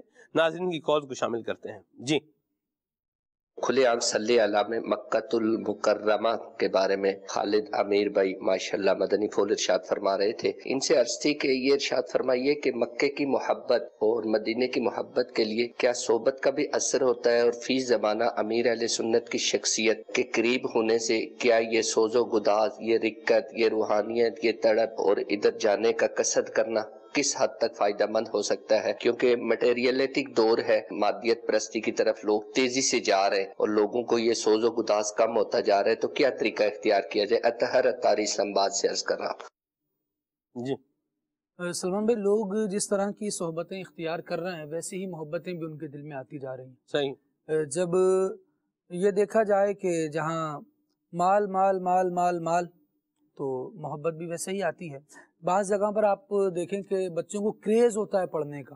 جی۔ تو ان کے پیچھے ایک صدا ہوتی ہے پڑھو گے تو کچھ بنو گے پڑھو گے تو کچھ بنو گے تو پھر وہ اسی ٹریک پر آتے ہیں اور پھر کوئی اسٹیٹس بھی پاتے ہیں۔ ایسے ہی جب مکہ مدینہ کی محبت اور اس کا تذکرہ جہاں سے آپ کو زیادہ مل رہا ہوگا جہاں بات بات پر آپ کو کوئی ایسا جواب دیا جائے گا ایسی بات کی جائے گی کہ جس سے آپ کے دل میں پھر مدینہ کی محبت جاگ اٹھے پھر تذکرہ مدینہ ہو جائے پھر ذکر مکہ ہو جائے۔ تو الحمدللہ للہ وہاں پر آپ کو دلوں میں مکے کی محبت آئے گی مدینہ کی محبت آئے گی۔ سیدی امیر علیہ سنت دامت برکاتم العالیہ کی صحبت کا تو فیضان یہ ہے کہ آپ دامت برکاتم العالیہ پسند فرماتے ہیں اس چیز کو کہ گفتگو میں ذکر مکہ اور ذکر مدینہ ہو۔ دوسروں کی گفتگو میں بھی ہو اور خود تو ماشاءاللہ انداز ایسا ہے کہ ہمیں شعبہ جات عطا فرمائے ہیں تو ان کے نام بھی مدرسۃ المدینہ جامعات المدینہ۔ فرماتے ہیں یہ میں نے اس لیے بھی رکھا ہے کہ ہم مدینہ کے ذکر سے دور نہ ہوں۔ بات اگر کسی شعبے کی بھی کر رہے ہوتے ہیں تب بھی لبوں پر ذکر مدینہ آ رہا ہوتا ہے۔ اور پھر خاص کر جب مکین گنبد خزرہ صلی اللہ تعالیٰ علیہ وآلہ وسلم کی بات ہو شہر مدینہ منورہ کی بات ہو شہر مکہ مکرمہ کی بات ہو بلکہ کتنے عاشقان رسول ایسے ہیں کہ جن کی دینی ماحول سے مستقل وابستگی کا سبب ذکر مدینہ یا دیگر چیزیں اور ہیں فقط تصور مدینہ بنا۔ تصور مدینہ میں امیر سنت دامت برکاتم العالیہ کے ساتھ شرکت کی سعادت نصیب ہو گئی تو پھر ایسا مزہ آیا ایسا لطف نصیب ہوا جی۔ کہ وہ واقعتاً امیر سنت تصور مدینہ کر رہے ہیں۔ دیوانے آنکھوں میں بند کر کے جس طرح امیر علیہ سنت ارشاد فرمائے جا رہے ہیں جی۔ ویسے ہی یہ بھی تصور میں لائے جا رہے ہیں۔ جی۔ ایسا لگتا ہے کہ خود کہتے ہیں لگتا ہے سچ مچ مدینے میں آ گئے۔ لگتا ہے سچ مچ عقید عالم صلی اللہ تعالیٰ علیہ وآلہ وسلم کے گنبد خضرہ کے سامنے یہ صرف ایک سوچ کی پاور ہے۔ اور یہ یقیناً مدینے سے فیضان ہی جاری ہوتا ہے تبھی یہ جذبات بندے کی بن رہے ہوتے ہیں۔ لیکن امیر علیہ سنت دامت برکاتہم العالیہ کے بارے میں علماء اہل سنت کے جو تاثرات ہیں، سلمان بھائی وہ ماشاءاللہ بتا رہے ہوتے ہیں کہ جتنا ذکر مدینہ ہم نے مولانا الیاس قادری کو کرتے سنا ہے، شاید اس زمانے میں اور کوئی اس طرح کرتا ہو۔ کیونکہ آپ کے لبوں پر اکثر یہ جاری ہے۔ اور پھر آپ دیکھیں کہ جو آپ کی صحبت میں بیٹھنے والے ہیں، مدنی مذاکروں میں شرکت کرنے والے ہیں، دعوت اسلامی کے دینی ماحول میں آنے جانے والے ہیں، صرف آنے جانے والے تو یہ جدا ہے جو رچے بسے ہیں ان کا تو پھر معیار اور اندازی الگ۔ ہی جدا ہے نا۔ لیکن جو صرف آنے جانے والے ہیں وہ بھی الحمدللہ مدینہ مدینہ کرتے نظر آتے ہیں۔ تو صحبت کا تو بہت زیادہ اثر ہے۔ چاہے وہ فضائل کو دل میں بٹھانے کے اعتبار سے ہو چاہے وہاں جانے کی طلب دل میں جگانے کے اعتبار سے اگر اچھی صحبت میں آئیں گے ایسی جگہ پر رہیں گے جہاں ذکر مدینہ کیا جاتا ہے تو انشاءاللہ دل مکے اور مدینہ کی محبت میں مچلنے والا ہوگا۔ مرحبا۔ کل ہم نے پروگرام کا موضوع مدینہ منورہ ہی رکھا ہے۔ سبحان جب آپ ایک پروگرام مکے شریف پر کریں تو دوسرا پروگرام پھر مدینہ۔ طیبہ کے علاوہ اور کس جو ہے وہ عنوان پر ہو سکتا ہے۔ انشاءاللہ کل مدینہ مدینہ کریں گے انشاءاللہ۔ ابتدا میں اناؤنس کیا کہ ہمارا آج ٹاپک مکہ مکرمہ ہے۔ جی۔ تو میسج آیا کہ کل کا پھر مدینہ منورہ رکھے اور یہی ہے پہلے سے طے الحمدللہ۔ جی کال شامل کرتے ہیں۔ محمد ناصر اتاری مرکز الاولیاء لاہور سے۔ بات کر رہا ہوں۔ کھلے عام صلی اللہ کہتے کہتے سلسلہ ماشاءاللہ اپنی بہاریں خوب لٹا رہا ہے اور آج کا جو موضوع ہے وہ بھی ماشاءاللہ بہت ہی پیارا ہے۔ لیکن سلمان بھائی، عموماً آج کے دور میں ہم دیکھیں تو تقریباً لوگوں نے اپنی زندگی جینے کا جو طریقہ کار ہے، وہ خود ہی بنایا ہوا ہے، جس کے معاشرے پر بہت برے اثرات مرتب ہوتے ہیں۔ اگر سنت کی بات کی جائے تو ہم فرائض سے بھی غافل ہو کر اپنی زندگی بسر کر رہے ہوتے ہیں۔ تو میری مبلغین سے گزارش ہے کہ آپ ایسا کچھ طریقہ کار بیان فرمائیں، ایسی صلاح فرمائیں کہ ہم اپنی زندگی میں فرائض اور سنت کی پابندی کیسے کریں؟ یعنی کہ وہ کس طریقے سے ہم خود کو ان اعمال کے مطابق ڈال سکتے ہیں؟ جزاک اللہ خیرہ اللہ آپ کو برکت دے۔ آباد رہیں خوش رہیں سلامت رہیں۔ بڑی اچھی طرف توجہ دلائی آپ نے۔ سنتیں جو ہیں نا یہ یہ فرائض کے لیے کلا ہے یہ میروز میں جب میں جامعہ المدینہ میں تھا جی۔ تو وہاں ہمیں جو نیک اعمال کی ترغیب دلانے والے اس ٹائم میں جو ہوتے تھے تو وہ یہ بات سمجھاتے تھے کہ سنتیں کیا ہیں؟ یہ فرائض کے لیے کلا ہے اور نوافل کیا ہیں؟ یہ سنتوں کی حفاظت کے لیے کیا ہیں؟ ایک کلا ہے۔ جی۔ یعنی جو فر... جو نوافل کی پابندی کرے گا وہ سنتوں کی پابندی بھی کرے گا وہ فرائض کی پابندی بھی کرے گا۔ اور جو سنتوں کی پابندی کرے گا یہ فرائض کی پابندی بھی کرے گا۔ اور جب یہاں سے دور جاتا جائے گا نوافل سے دور جائے گا تو پھر ایک وقت میں سنتوں سے دور جائے گا۔ اور جب سنتوں سے دور جائے گا تو پھر اگلے وقت میں کیا ہے یہ؟ فرائض سے بھی دور ہی جائے گا۔ جی۔ ٹھیک ہے؟ جب آپ دیکھیں نا جب بندہ ایک ایک جگہ رک جاتا ہے اور گاڑی جا رہی ہے اب وہ جتنی دور جاتی جا رہی ہے اتنا فاصلہ کیا ہے۔ بڑھتا ہی جا رہا ہے۔ تو یہ نیکیوں کے اعتبار سے بھی یوں بندہ جب دوری جو ہے وہ اختیار کرے گا تو اور دور ہوتا جائے گا۔ مجھے جو ایک بات لگتی ہے میروز بھائی وہ ذہن بنانے والی بات ہے۔ میں نے دو طرح کے لوگ مسجد میں دیکھے۔ ایک وہ دیکھیں خالد بھائی کہ جو نماز جنہوں نے پڑھی ہے نماز پڑھ کر کیا ہے وہ بیٹھے ہیں پھر باقی سنتیں بھی جو ہے وہ پڑھ رہے ہیں اور پھر دعا کر کے جو ہے وہ نکل رہے ہیں۔ اور کچھ لوگ وہ بھی دیکھے میروز بھائی کہ جیسے آپ سلام پھیر کر آپ نے جو ہے وہ رخ چینج کیا ہے جی۔ تو آپ دیکھتے ہیں کہ فوراً سے کیا ہے وہ چار پانچ بندے اٹھ کر یوں بھاگتے ہیں جیسے پانی نہیں جیسے آ گیا۔ آ گیا بھائی سیلاب آ گیا بھائی اٹھو بھائی۔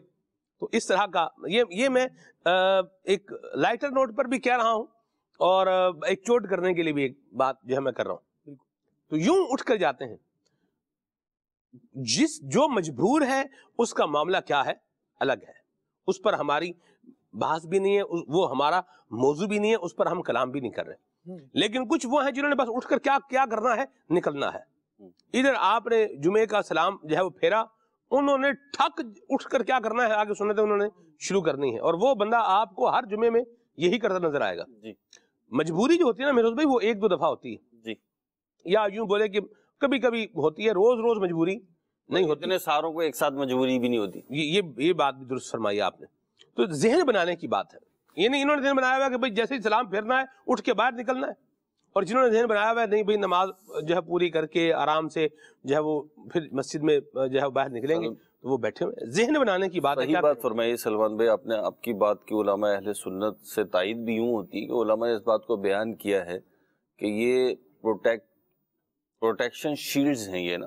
جی۔ یعنی علماء نے درجہ بندی یوں بیان کی ہے کہ مستحبات نوافل جو ہیں یہ سنتوں کی حفاظت کرتے ہیں۔ یعنی نفل پڑھنے والا عامل سنت ہوگا۔ اور جو سنتوں کا پابند ہوگا وہ واجبات کو ہرگز نہیں چھوڑے گا۔ درست اور جو واجبات کا پابند ہوگا اس سے فرض چھوٹ جائے یہ تو تصور ہی نہیں۔ اور جو فرض ادا کرے گا اس کا انشاءاللہ خاتمہ ایمان پر ہوگا۔ اچھا اسی کو ریورس بھی بیان فرمایا۔ یعنی جو نوافل چھوڑے گا تو اب اس کی سنت خطرے میں۔ اور جو سنتوں کا تاریخ بن جائے گا تو پھر وہ ایک وقت آئے گا واجبات بھی چھوڑ دے گا۔ جی۔ اور جو واجبات چھوڑے گا وہ فرائض بھی چھوڑ دے گا اور جو فرائض چھوڑے گا اس کے برے خاتمے کا اندیشہ ہے۔ یہ باتیں علماء نے کتب میں لکھی ہیں۔ تو آپ جو بیان فرما رہے ہیں وہ یہی ہے۔ ہمارا یہ ہوتا کیوں ہے؟ اس کی ایک بہت بڑی وجہ ریزن کیا ہے؟ آپ دیکھیں گے کہ گھر کے بھی بزرگ اور دین کے بھی بزرگ جو باتیں کرتے ہیں نا جی۔ وہ ٹین ایجرز کو اتنی آسانی سے سمجھ نہیں آتی۔ ایسا ہی ہے۔ وہ کہتے ہیں جی ریزن دو۔ وہ کہتے ہیں جی لاجک دو۔ ہم کہتے ہیں کہ جی چلو دو رب ایسا آ گیا ریزن اور لاجک آپ بتا دو۔ لیکن سلمان بھائی آپ کو بھی تجربہ ہوگا۔ بعض اوقات بندہ اتنا تجربہ کار ہوتا ہے اتنا محتاط ہوتا ہے اور اپنی فیلڈ کا ایسا ماہر ہوتا ہے کہ آپ اس کے پاس ہاتھ باندھ کے صرف اس لیے بیٹھتے ہیں کہ اس کی زبان سے کوئی جملہ نکلے اور میں پکڑوں۔ پکڑوں سے مراد یہ ہے کہ میری میری زندگی سنور جائے گی۔ صحیح۔ میں اس کی مثال دوں۔ ہے بڑی غلط لیکن سمجھنے کی ہم نے دیکھا۔ میں صدر میں ہوتا تھا تو جناب وہ بانڈ کی پرچیاں بکتی تھیں۔ صحیح۔ اچھا یہ بانڈ کی جو پرچیوں کا انداز بتا رہا ہوں میں یہ والا جائز تو نہیں جائز بھی نہیں ہے، جائز۔ نہیں ہے۔ لیکن جو لوگوں کی سائیکی ہے وہ بتا رہا اب وہ کسی الٹے پلٹے بابا کے پاس بیٹھے ہوئے کہ جی بابا کوئی عدد بولے تو بس جی اس پہ لگائیں۔ اب بابا نے کوئی الٹا الٹا عدد بولنا ہے انہوں نے لگا دینا۔ تو یہ تو ہیں رونگ۔ غلط ہیں یہ۔ لیکن زندگی کے تجربات میں آپ دیکھیں گے بزنس ویلیو سے اگر میں دیکھوں تو بڑے بڑے تاجر جو ہوتے ہیں بڑے بڑے بزنس مین جو ہوتے ہیں بہت ساری جگہوں پہ چلے میں نام لوں گا تو یوں ہی ہوتا رہے گا کہ یہ صحیح ہے یہ غلط ہے وہ وضاحتوں میں چیز لگ جائے گی۔ لیکن انویسٹمنٹ کہاں کرنی ہے؟ تو بہت سارے چھوٹے تاجر جو ہوتے ہیں نا وہ بہت بڑے بزنس آئیکن جو ہوتے ہیں نا جی۔ ان کے آس پاس ٹہل رہے ہوتے ہیں بیٹھے ہوئے ہوتے ہیں۔ سر آپ کی خدمت کے لیے۔ وہ خدمت ودمت کے لیے نہیں ہوتے۔ ایسی بات ہے۔ وہ یہ معلوم کرنا چاہ رہے ہوتے ہیں کہ سر نے انویسٹمنٹ کہاں کرنی ہے؟ صحیح۔ وہ تو یہ دیکھ رہے ہوتے ہیں سر نیوز میں آج کس پروجیکٹ کو توجہ سے پڑھ رہے تھے؟ ہاں جی۔ بس وہ توجہ سے پڑھنا نا ان کا ذہن ڈائیورٹ کر دیتا کہ جی سر یہ پڑھ رہے تھے تو اب سر یہاں پہ انویسٹمنٹ کریں گے۔ ہاتھی کے پاؤں میں سب کا پاؤں۔ سب کا پاؤں۔ تو وہ وہاں پہ انویسٹمنٹ کر دیتے ہیں۔ ہم ہم نے یہ سنا یہ بات تھوڑی سی طویل ہو گئی لیکن میں سمجھتا ہوں کہ مدنی چینل کے ناظرین کے لیے اچھی رہے گی۔ وہ یہ کہ ہم نے علماء سے سنا کہ کسی بھی ایسے شخص کی گفتگو سننے کی آپ کو ضرورت نہیں ہے جو اللہ رسول کا باغی و نافرمان۔ تو اب لوگ کہتے ہیں کہ جی ہم سب کی سنتے ہیں۔ جب سب کی سنتے ہیں تو بھائی آپ نے کوئی پروٹیکشن شیلڈ جو ہے نا اپنے کانوں میں لگائی ہوئی نہیں ہے۔ جیسے ہوتا ہے نا ماسک لگا لیتے ہیں کہ جراثیم نہ جائے سمجھ رہے ہیں؟ تو آپ کے کانوں پہ ایسی کوئی پروٹیکشن شیلڈ نہیں ہے کہ جو بری باتوں کو الگ کر دے جو آپ کو نقصان پہنچانے والی انہی میں سے ایک بات یہ کہ جی اصل چیز تو فرائض ہے۔ بے شک اصل چیز ہے فرائض ہی۔ لیکن یہ جس انداز پہ کہا جاتا ہے نا اس سے فرائض کی اہمیت کم سمجھ میں آتی ہے جی۔ بلکہ اس سے سمجھ میں یہ آتا ہے سنتوں کی اور نوافل کی کوئی اہمیت نہیں ہے۔ اچھا اور یہ رونگ ہے۔ تو ہم نوافل بھی اپنائیں۔ جی۔ سنتیں بھی اپنائیں اور یہی ہمیں فرائض اور واجبات کی پابندی کی طرف لے کر جائیں گی۔ نہیں تو آپ دیکھ لیں کہ جتنی بھی سلمان بھائی اہم عمارتیں ہوتی ہیں وہاں پہ ان کی حفاظت کے لیے گیٹ بڑا مضبوط لگایا جاتا ہے۔ لیکن گیٹ کے آگے ہی آپ دیکھیں گے تو پھر ایک اور باؤنڈری لائن ہوتی ہے پروٹیکشن کی۔ اس باؤنڈری لائن سے آگے ایک اور باؤنڈری لائن ہوتی ہے۔ بعضوں کا تو تین چار ہوتی ہے لیئرز سیکیورٹی جی بالکل۔ تھری لیئرز ہوتی ہے اور پھر اس کے آگے جو ہے نا وہ کانٹے بھی رکھے ہوئے ہوتے ہیں۔ بیریئرز بھی لگے ہوئے ہوتے ہی ہیں تو آپ بولیں اس بیریئرز کا بیریئر کا کیا فائدہ؟ اصل چیز تو دروازہ ہے۔ بھائی اصل چیز تو دروازہ ہے۔ لیکن اگر کوئی توڑ کے آنا چاہے گا تو وہ پہلے بیریئر کراس کرے گا۔ اور جب آپ کا بیریئر کراس ہو گیا ہے تو اب آپ کو الرٹ ہو جانا چاہیے کہ کچھ مس ہینڈلنگ ہو رہی ہے اور اس کو ہمیں کیسے ڈیل کرنا ڈیل؟ کرنا بڑ- بڑی پیاری بات کہی۔ یوں سنتوں کے معاملے میں ہے کہ یہاں سے اگر کوئی بات بات جو ہے وہ چھوٹ رہی ہے تو بندہ قائم دائم ہو جائے۔ جی۔ یہ شیطان کیا ہو رہا ہے؟ اب حملہ آور ہو رہا ہے۔ تو اس شیطان کو کیا کرنا ہے؟ ناکام کرنا ہے اور عمل جو ہے وہ اپنا اللہ کی عبادت کی طرف جو ہے وہ مزید آگے بڑھانا ہے۔ اللہ ہم سب کو یہ سوچ سمجھ بھی نصیب فرمائے۔ مکہ مکرمہ میں سنتوں پر عمل بھی کرے بندہ اور بھرپور طریقے سے کرے اور سنتیں ادا بھی کرے۔ سنتیں پڑھے بھی۔ نماز سے پہلے فرض جو ظہر سے چار سنتیں پہلے بھی ہیں دو سنتیں کیا ہیں؟ بعد میں ان کو بھی پڑھے۔ اور حضور نے فرمایا من احب سنتی فقط احبانی من احبانی کا نما فی الجنہ۔ جو میری سنت سے محبت کرے گا جس نے میری سنت سے محبت کی اس نے مجھ سے محبت کی اور جو مجھ سے محبت کرے گا جنت میں میرے ساتھ ہوگا۔ تو ہمیں سنتوں سے محبت بھی کرنی ہے اور ان کو اپنانا بھی ہے انشاءاللہ۔ عزوجل دعوت اسلامی کے جنی ماحول سے بچتا رہیں گے تو انشاءاللہ یہ ذہن بنتا رہے گا۔ امیر سنت کی مدنی مذاکرے سننے کی برکت سے سنتوں کی حفاظت بھی ہوگی اور انشاءاللہ فرائض کی بھی حفاظت ہوگی انشاءاللہ۔ اندر سلمان بھائی۔ جی۔ بس اوقات ایسا ہوتا ہے کہ شیطان وسوسہ ڈالتا ہے جیسے سنتیں فرائض کی بات چل رہی ہے۔ اور بھی عبادات جو ہم کرتے ہیں اس کے اندر شیطان یہ وسوسہ ڈالتا ہے کہ تجھے کچھ فائدہ تو نہیں ہو رہا۔ کچھ فائدہ تو نہیں ہو رہا تجھے۔ چلیں سو طرح کے اس کے طریقے ہیں آنے کے، کبھی کیا ڈالے گا، کبھی کیا وسوسہ ڈالے گا۔ ایسی ایک واقعہ ملتا ہے جو مفتی احمد خنیمی رحمۃ اللہ تعالیٰ نے اپنی کتاب میں لکھا۔ بنی اسرائیل میں ایک شخص تھا اور اس کے پاس شیطان آیا اور اس نے کوئی ساٹھ سال تک عبادت کی، ستر سال تک عبادت کی اور وہ شیطان نے اس کو آ کر وسوسہ ڈالا کہ دیکھو، تم کب سے اللہ کو پکار رہے ہو؟ اللہ تعالیٰ نے تجھے جواب دیا۔ وسوسہ ڈالا اس کو شیطان نے، اس نے کہا نہیں۔ بولے، چھوڑو پھر۔ اس کو ورغلا دیا اس نے شیطان نے۔ اب وہ رک گیا اپنی عبادت سے۔ اللہ کریم سب جانتا ہے، لیکن اس نے فرشتوں سے پوچھا کہ میرے بندے کے اعمال پیش ہوتے تھے، وہ کہاں؟ فرشتوں نے عرض کی، یا اللہ، وہ اس طرح اس طرح شیطان نے اس کو وسوسہ ڈال دیا، وہ سست پڑ گیا، اس کے اعمال نہیں اٹھائے جا رہے۔ تو اللہ تعالیٰ نے اس کو ایسے چھوڑا۔ پھر کچھ ٹائم ایسا ہوا کہ اس کو اللہ کریم کا دیدار نصیب ہوا خواب میں، اور خواب میں دیدار ہو سکتا ہے، جاگتی آنکھوں سے خواب نہیں ہو سکتا سوائے نبی کریم صلی اللہ علیہ وسلم کی ذات کے۔ باقی کسی کو سر کی آنکھوں سے نہیں۔ تو محال ہے یہ۔ تو بہرحال خواب میں اس کو دیدار ہوا۔ اللہ کریم نے اس سے پوچھا کہ بندے، تو میری عبادت کیا کرتا تھا؟ کیوں رک گیا ہے؟ کس چیز نے تجھے روک دیا؟ اس نے کہا، یا اللہ، مجھے جواب ہی نہیں ملتا تھا تیری طرف سے۔ میں نے کبھی تیری طرف سے جواب ہی نہیں سنا۔ تو اللہ تعالیٰ نے فرمایا ہے میرے بندے جو تو عبادت کرتا تھا میرا ذکر کرتا تھا جو اس ذکر کے اندر تجھے لذت ملتی تھی اس ذکر کے اندر جو تیرا دل چاہتا تھا تیری تجھے روحانیت ملتی تھی یہی تو میرا جواب تھا۔ اللہ۔ یہی تو میری طرف سے رپلائی تھا۔ تو بندہ یہ دیکھے کہ میرا جو میں ذکر کر رہا ہوں اس میں میرا دل کتنا لگ رہا ہے۔ اگر نہیں لگ رہا تو پھر بھی لگا رہے عبادت کرتا رہے اور رب سے دعا مانگے۔ اس کی رحمت کی توجہ چاہے۔ تو ان شاء اللہ تعالیٰ اس سے ایسا ہوگا کہ مزید عبادت کرنے کو دل بھی لگے گا۔ اور میں تو یہ کہتا ہوں کہ اگر دو نفل نہ صحیح تو کم از کم سجدہ شکری کر لیں عبادت کے بعد۔ فرض کے بعد حدیث پاک ہے نا پیارے آقا صلی اللہ علیہ وسلم نے جو فرمایا اللہم انی علی ذکری کا شکری کا حسن عبادت کہ جو عبادت کی ہے اس پر اللہ کا شکر ادا کریں گے یا اللہ تیری توفیق سے میں نے یہ عبادت کی ہے۔ اس کا شکر ادا کریں تاکہ اور بھی تمہیں اس کی سعادت ملے۔ تو سجدہ شکر کریں ہر نماز کے بعد۔ نوافل سنت ہیں ساری نماز پڑھنے کے بعد دو رکعت پر نفل اگر پڑھنا آپ کو باری لگ رہا ہے تو کم از کم ایک سجدہ ہی کر لیں کہ یا اللہ تو نے یہ بات کرنے کی مجھے توفیق عطا بھاری بھی نہیں ہے بس ذہن بنانے والی بات ہے کہ میرے نفل کیا ہے کہ پڑھ کے اٹھنے ہیں۔ بس ذہن بنائیں۔ یہ بھئی یہ کام کیا ہے؟ کرنا ہے۔ کرنا ہے تو بس کیا ہے؟ کرنا ہے۔ یہ اپنا ذہن بنائیں گے تو انشاءاللہ بندہ شروع میں ہو سکتا ہے ایک دو تین دفعہ کیا ہو مشکل ہو لیکن پھر جب بندہ اس نہج پر آ جائے گا تو پھر کیا ہے کام؟ ہو جائے گا انشاءاللہ۔ اللہ ہمیں مکہ مکرمہ میں بھی عبادت میں سستی کرنے سے بچائے۔ سستی بندہ جو ہے وہ یہ نہ کرے۔ آگے چلتے ہیں۔ جی۔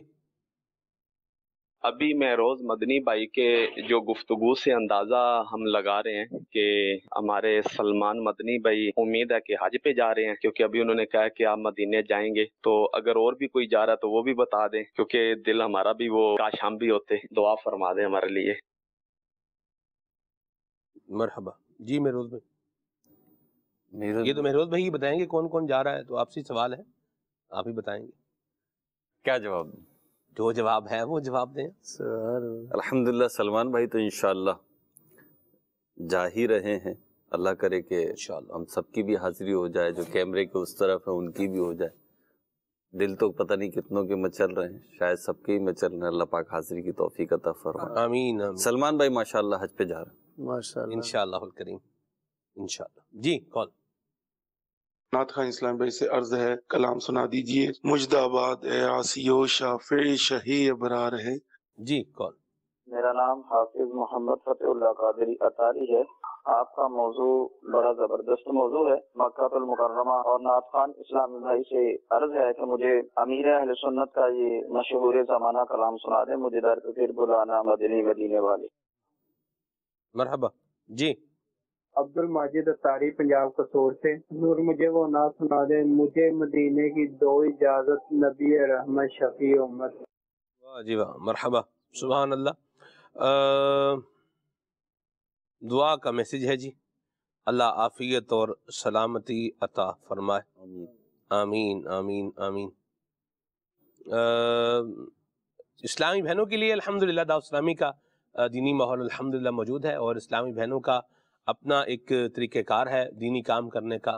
تو آپ کے علاقے میں جہاں دعوت اسلامی والے موجود ہیں، تو ان سے اگر ذمہ داران سے آپ رہنمائی لے لیں گے، تو وہ آپ کو بتا دیں گے کہ اسلامی بہنوں کا اجتماع یہاں پر ہوتا ہے۔ تو اپنے گھر کی اسلامی بہنوں کو وہاں بھیجیں گے، تو انشاءاللہ اسلامی بہنوں کا بھی دینی ماحول سے وابستہ ہونے کا یہ سلسلہ کار بن جائے گا۔ تو دعوت اسلامی کے اندر الحمدللہ اسلامی بہنوں کے جو معاملات ہیں اور جو کام ہیں، ان کو اسلامی بہنیں ہی دیکھتی ہیں، اسلامی بہنیں ہی مدرسۃ المدینہ بالغات جو ہے پڑھاتی ہیں، درس دیتی ہیں ہلکے لگاتی ہیں، تو ان کا پورا ایک سسٹم ہے، نظام ہے، یہ الگ ہے اور سارا اسلامی بہنیں ہی اس کو جو ہے وہ اپنے طریقہ کار کے مطابق کرتی ہیں۔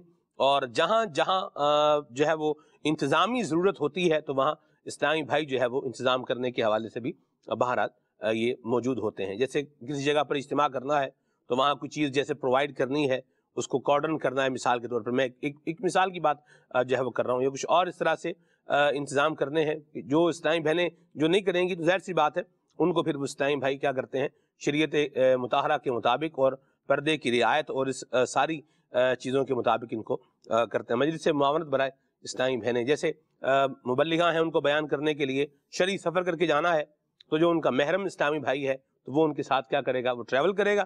اسلامی بھائی پھر جو ہے وہ مسجد میں رہتے ہیں، جہاں رہائش ہوتی ہے، وہاں رہتے ہیں، تو پھر اسلامی بہن جو مبلغہ ہوتی ہیں، ان کا جو جدول ہوتا ہے، اس کے مطابق اس کی ترکیب جو ہے، یہ بنتی ہے۔ پورا ایک سسٹم ہے، اسلام اور شریعت کے بتائے ہوئے طریقے اور روح اسلام کے مطابق جو کام ہونا چاہیے، الحمدللہ، اس کے مطابق مطابق میروز بھائی، دعوت اسلامی کا، جو اسلامی بہنوں کا نظام ہے، یہ بھی اللہ کی رحمت سے چل رہا ہے۔ آگے چلتے ہیں جی گھر کی اسلامی بہنوں کو دعوت اسلامی کے دینی ماحول سے وابستہ کریں۔ یہ بہت ضروری بات ہے تاکہ ان کی بھی اچھی تربیت ہو، ان کو بھی اچھی باتیں جو ہے وہ معلوم ہوں اور اچھے اخلاقیات بھی معلوم ہوں اور اللہ ہم سب کو دینی ماحول کے اندر رچنے بچنے کی بھی توفیق عطا فرمائے۔ اتنا مشکل نہیں ہے، سلمان بھائی، آپ نے جو بات کہی وہی میں ایک دفعہ دوبارہ دہرا دوں۔ کہ اپنے علاقے کے دعوت اسلامی کے ذمہ دار سے آپ رابطہ کریں گے تو وہ آپ کی درست رہنمائی کر دے گا۔ آپ کو ادھر ادھر جانے کی ضرورت نہیں ہے صرف اس سے رابطہ کریں۔ جی۔ انشاءاللہ وہ گھر بھی بتائے گا وہ یہ بھی بتائے گا کہاں کہاں کس کس سے کب رابطہ کرنا ہے۔ تو انشاءاللہ یہ ترکیب پردے اور شرعی تقاضوں اور انشاءاللہ عشق رسول کے ساتھ پائے تکمیل تک پہنچے گی۔ مرحبا آگے چلتے ہیں جی۔ یہ ہیں جی راتیں بھی مدینے کی باتیں بھی مدینے کی۔ واہ سبحان اللہ۔ کیا مہروز بھائی نے حج کیا ہے؟ سوال ہے مہروز بھائی بتائیں۔ خواہش ہے۔ خواہش ہے۔ ابھی تک نہیں کیا۔ دعا فرمائے اللہ ان کو بھی اسی سال حج کی سعادت نصیب فرمائے۔ آمین۔ آگے ہے جی کلام سنا دیں۔ ایسا تجھے خالق نے طرح بنایا۔ سبحان اللہ۔ حضور کعبہ حاضر ہیں۔ حرم کی خاک پر سر ہے۔ یہ کلام بھی سنایا جائے۔ واہ سبحان اللہ۔ اللہ برکت دے آپ کو۔ اور گجرا والا سے بھی میسج ہے۔ اور ان کو کلام سنا ہے۔ یا خدا حج پہ بلا آ کے میں کعبہ دیکھوں۔ مرحبا کچھ کلام سنا ہے انس بھائی؟ حسان بھائی۔ کہاں حسان بھائی۔ صلی اللہ علیہ محمد۔ حضور کعبہ حاضر ہیں۔ حرم کی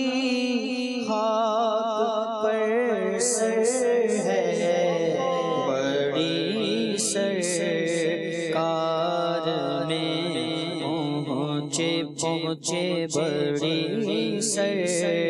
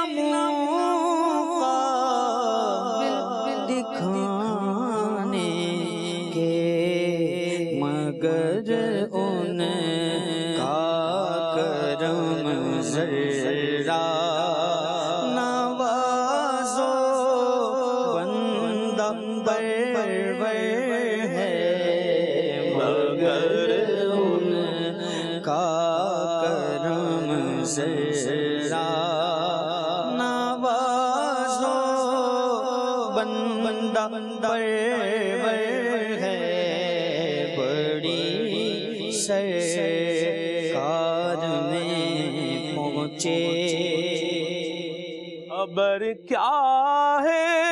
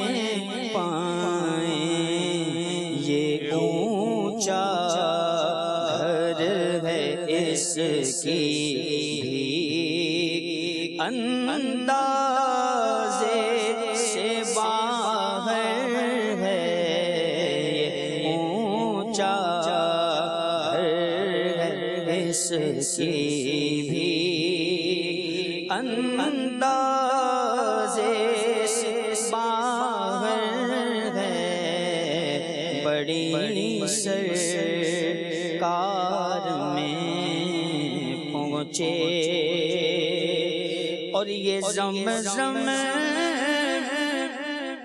اس لیے جس لیے اس کو پیے کوئی یہ زم زم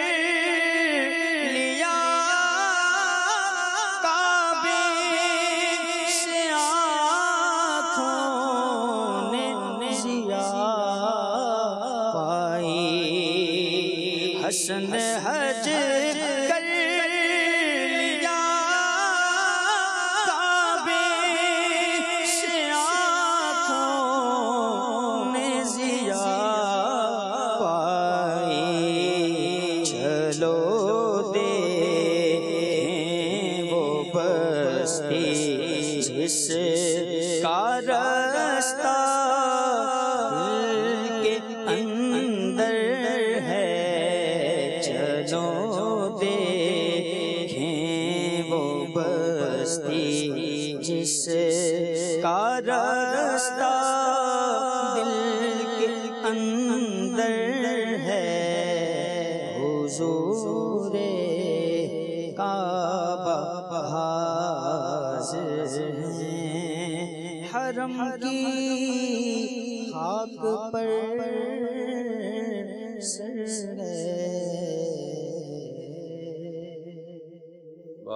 سبحان اللہ۔ مجھے دلے اور مجھے غم ستا رہے ہیں۔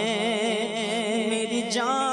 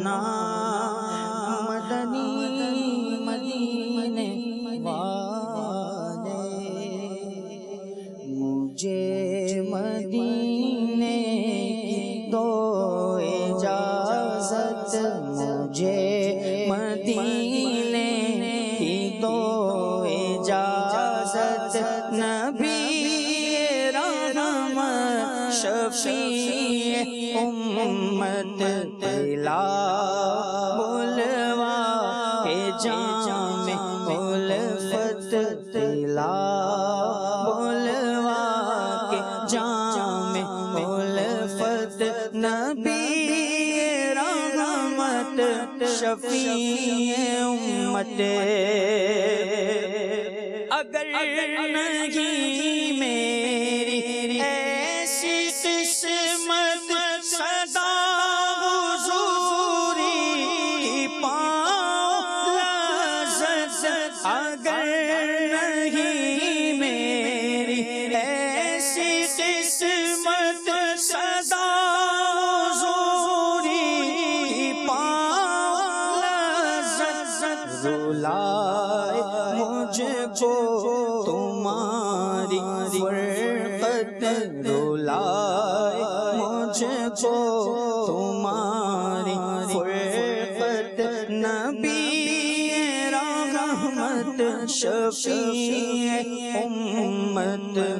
مجھے مدینے کی تو اجازت نبی رحمت شفیع امت۔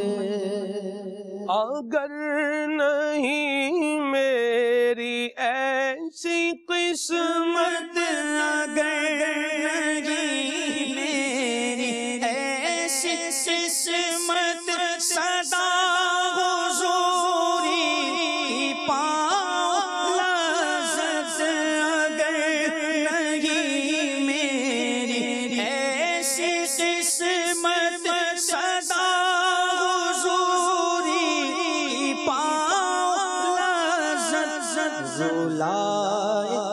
مجھ کو تمہاری فرقت رولائے مجھ کو تمہاری فرقت نبی رحمت شفیع امت دلائے مجھ کو تمہاری فرقت نبی رحمت شفیع امت اور لگا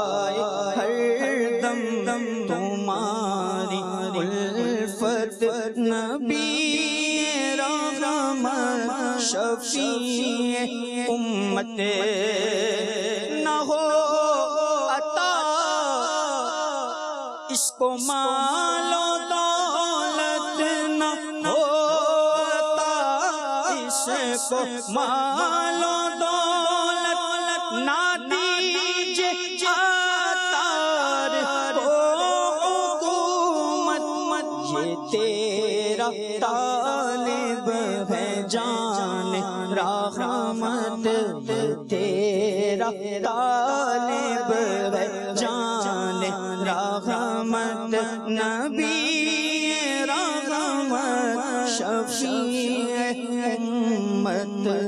مجھے مدینے کی دو اجازت مجھے مدینے کی دو اجازت نبی رحمت شفیع امت اللہ اللہ اللہ سبحان اللہ سبحان اللہ اللہ ذوق والی حاضری نصیب فرمائے اور نبی پاک صلی اللہ علیہ وسلم کی جو ہے وہ شفاعت ہم سب کو اللہ تبارک و تعالی نصیب فرمائے۔ آمین آمین آمین۔ صلو علی الحبیب صلی اللہ تعالی علی محمد صلی اللہ علیہ وسلم۔ صلاۃ والسلام علیک یا سیدی یا رسول اللہ۔ عابد بھائی، کعبہ مشرفہ کو جب قیامت کے دن لایا جائے گا تو کیسے لایا جائے گا؟ اس حوالے سے میں چاہ رہا ہوں کہ اس مضمون کو آپ بالتفصیل جو ہے وہ بیان فرمائیں جی۔ عابد بھائی ذوق میں ہیں اور اللہ ان کے ذوق میں مزید جو ہے وہ اضافہ فرمائے۔ اور امیر اس نے فرماتے ہیں کہ جو روتا ہے اس کا کام ہوتا ہے۔ آپ دیکھیں بچے کو صرف ایک ہی کام آتا ہے۔ بچہ ہے نا؟ ہمارے بھی ہیں آپ کے بھی ہیں مدنی چینل کے ناظرین۔ بچے کو صرف ایک کام آتا ہے اور کیا ہے؟ رونا۔ اور اس ایک کام سے اس کے کیا ہوتے ہیں؟ سارے کام ہو جاتے ہیں۔ میروز بھائی اس ایک رونے سے سارے کام سارے کام ہو جاتے ہیں اس کے۔ ٹھیک۔ اور رونا تو اگر جھوٹا بھی ہونا مہروز بھائی تو بھی کام کر۔ تو بھی کام جو ہے وہ کر ہی جاتا ہے۔ کام وہ نہ بھی کرے تو کسی کے دل میں جو ہے کوئی پیغام سمپتی کا تو دے ہی جاتا ہے۔ یعنی آپ دیکھیں کہ لوگ جو ہے وہ اس طرف غور اگر کریں تو آنسو ہے میروز بھائی۔ آنسو ٹھیک ہے۔ یہ فارسی ترکیب ہے اس کی۔ آ اور سو سو کا مطلب کیا ہے؟ طرف۔ آ کا مطلب کیا ہے؟ آپ۔ ٹھیک ہے جیسے کہتے ہیں آ جناب۔ ہمارے حلف سے استعمال ہوتا ہے؟ آ جناب۔ تو آ کا مطلب کیا ہے فارسی میں؟ آپ۔ اور سو کا مطلب کیا ہے؟ طرف۔ تو آنسو کو اگر یوں بندہ ملائے تو مطلب بن جائے گا آپ کی طرف۔ طرف۔ تو جس کی طرف جانے کے لیے آنسو بہا رہا ہے یہ اس طرف چلا جائے گا۔ یہ آنسو کے اندر ایک جو ہے وہ ذوق موجود ہے بات کے اندر بھی۔ اللہ سمجھنے کی جو ہے وہ توفیق عطا فرمائے۔ تو جو اللہ کی یاد میں آنسو بہائے گا تو یہ آنسو اسے اللہ تبارک کی رحمت کی کیا ہے؟ قریب لے جائے گا۔ مکے مدینے کی کیا ہے؟ قریب لے جائے گا بلکہ حاضری کا پروانہ بھی جو ہے وہ عطا ہو جائے گا۔ اللہ نصیب فرمائے۔ جی عابد بھائی مضمون میں چاہ رہا ہوں آپ بیان فرمائیں۔ حضرت سیدنا وحب بن منبع رحمۃ اللہ تعالی علیہ فرماتے ہیں کہ تورات شریف میں ہے کہ اللہ پاک بروز قیامت اپنے سات لاکھ مقرب فرشتوں کو بھیجے گا جن میں سے ہر ایک کے ہاتھ میں سونے کی ایک زنجیر ہوگی۔ اللہ پاک فرمائے گا جاؤ اور کعبہ کو ان زنجیروں میں باندھ کر محشر کی طرف لے آؤ۔ اللہ۔ فرشتے جائیں گے اور اسے زنجیروں سے باندھ کر کھینچیں گے۔ اور ایک فرشتہ پکارے گا اے کعبہ چل۔ تو کعبہ مبارکہ کہے گا میں نہیں چلوں گا جب تک میرا سوال پورا نہ کی ہو جائے۔ اللہ اللہ۔ قضائے آسمانی سے ایک فرشتہ پکارے گا تو سوال کر تو کعبہ بارگاہ الہی میں عرض کرے گا اے اللہ تو میرے پڑوس میں مدفون مومنین کے حق میں میری شفاعت قبول فرما۔ تو کعبہ شریف ایک آواز سنے گا میں نے تیری درخواست قبول فرما لی۔ حسین وحب بن منبع رحمۃ اللہ علیہ فرماتے ہیں پھر مکہ مکرمہ میں دفن ہونے والوں کو اٹھایا جائے گا جن کے جن کے چہرے سفید ہوں گے اور سب احرام کی حالت میں کعبے کے گرد جمع ہو کر تلبیہ یعنی لبے کہہ رہے ہوں گے۔ پھر فرشتے کہیں گے اے کعبہ اب چل۔ تو وہ کہے گا، میں نہیں چلوں گا جب تک میری درخواست قبول نہ ہو جائے۔ اللہ۔ تو قضاء آسمانی سے ایک فرشتہ پکارے گا، تو مانگ تجھے دیا جائے گا۔ تو کعبہ شریف کہے گا، اے اللہ پاک، تیرے گناہ گار بندے جو اکٹھے ہو کر دور دور سے غبار آلود میرے پاس آئے، انہوں نے اپنے اہل و عیال اور احباب کو چھوڑا۔ انہوں نے فرما برداری اور زیارت کے شوق میں نکل کر تیرے حکم کے مطابق مناسب حج ادا کیے۔ اللہ۔ تو میں تجھ سے سوال کرتا ہوں کہ ان کے حق میں میری شفاعت قبول فرما۔ اللہ اللہ۔ ان کو قیامت کی گھبراہٹ سے امن عنایت عطا فرما اور انہیں میرے گرد جمع کر دے تو ایک فرشتہ ندا دے گا۔ اے کعبہ ان میں ایسے لوگ بھی ہوں گے جنہوں نے تیرے طواف کے بعد گناہوں کا ارتکاب کیا ہوگا۔ ان پر اصرار کر کے اپنے اوپر جہنم واجب کر لیا ہوگا۔ تو کعبہ عرض کرے گا اے اللہ پاک ان گناہ گاروں کے حق میں میری شفاعت قبول فرما۔ جن پر جہنم واجب ہو چکا۔ تو اللہ پاک فرمائے گا میں نے ان کے حق میں تیری شفاعت قبول فرمائی۔ تو وہی فرشتہ ندا کرے گا جس نے کعبہ کی زیارت کی تھی۔ وہ دیگر لوگوں سے الگ ہو جائے۔ اللہ پاک ان سب کو کعبے کے گرد جمع کر دے گا۔ ان کے چہرے سفید ہوں گے۔ جہنم سے بے خوف ہو کر طواف کرتے ہوئے تلبیہ کہیں گے۔ پھر فرشتہ پکارے گا اے کعبہ اللہ چل۔ تو کعبہ شریف اس طرح تلبیہ کہے گا لبیک اللہم لبیک۔ والخیر کلہ بیدیک۔ لبیک لا شریک لک لبیک ان الحمد والنعمت لک والملک لا شریک لک۔ پھر فرشتے اس کو کھینچ کر میدان محشر تک لے آئیں گے۔ اللہ اللہ اللہ اللہ اللہ۔ سبحان اللہ۔ یہ اونچا گھر ہے اس کی بھیک اندازے سے باہر ہے یہ اونچا گھر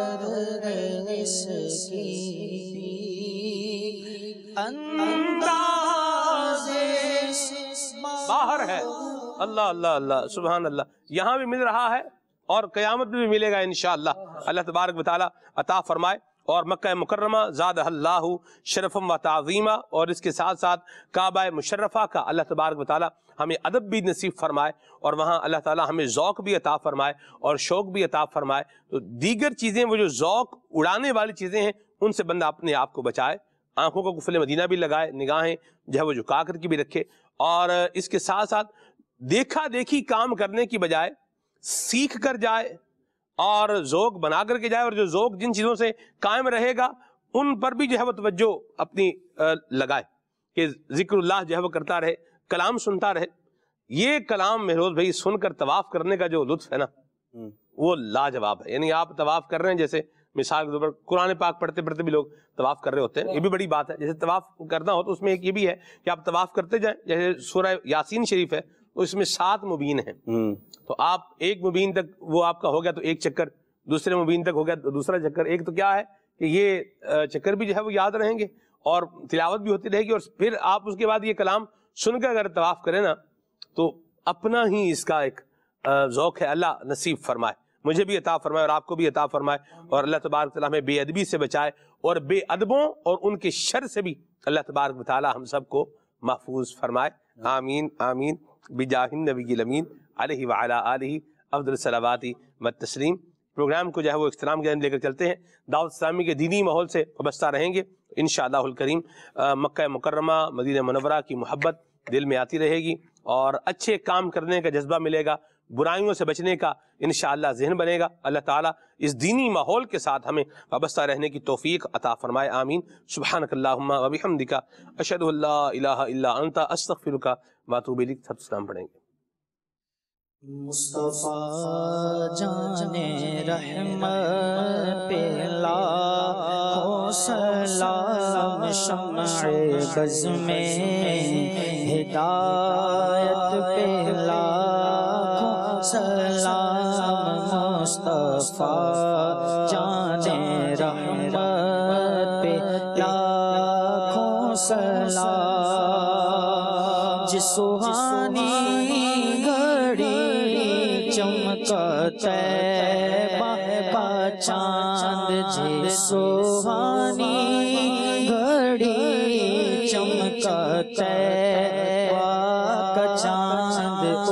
اس دل افروز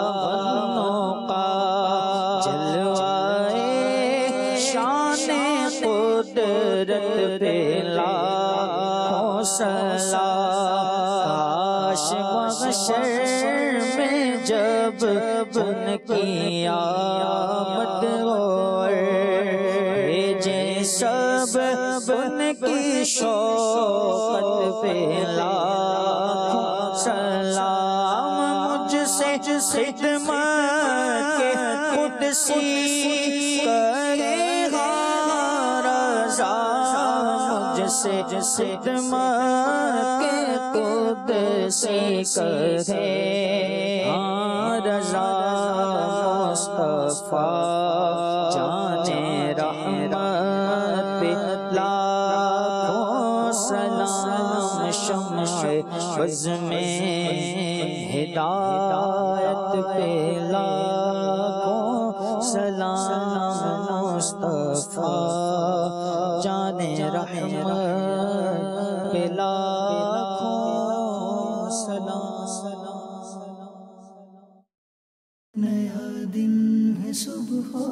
چرائی ہے دیکھو لبوں پر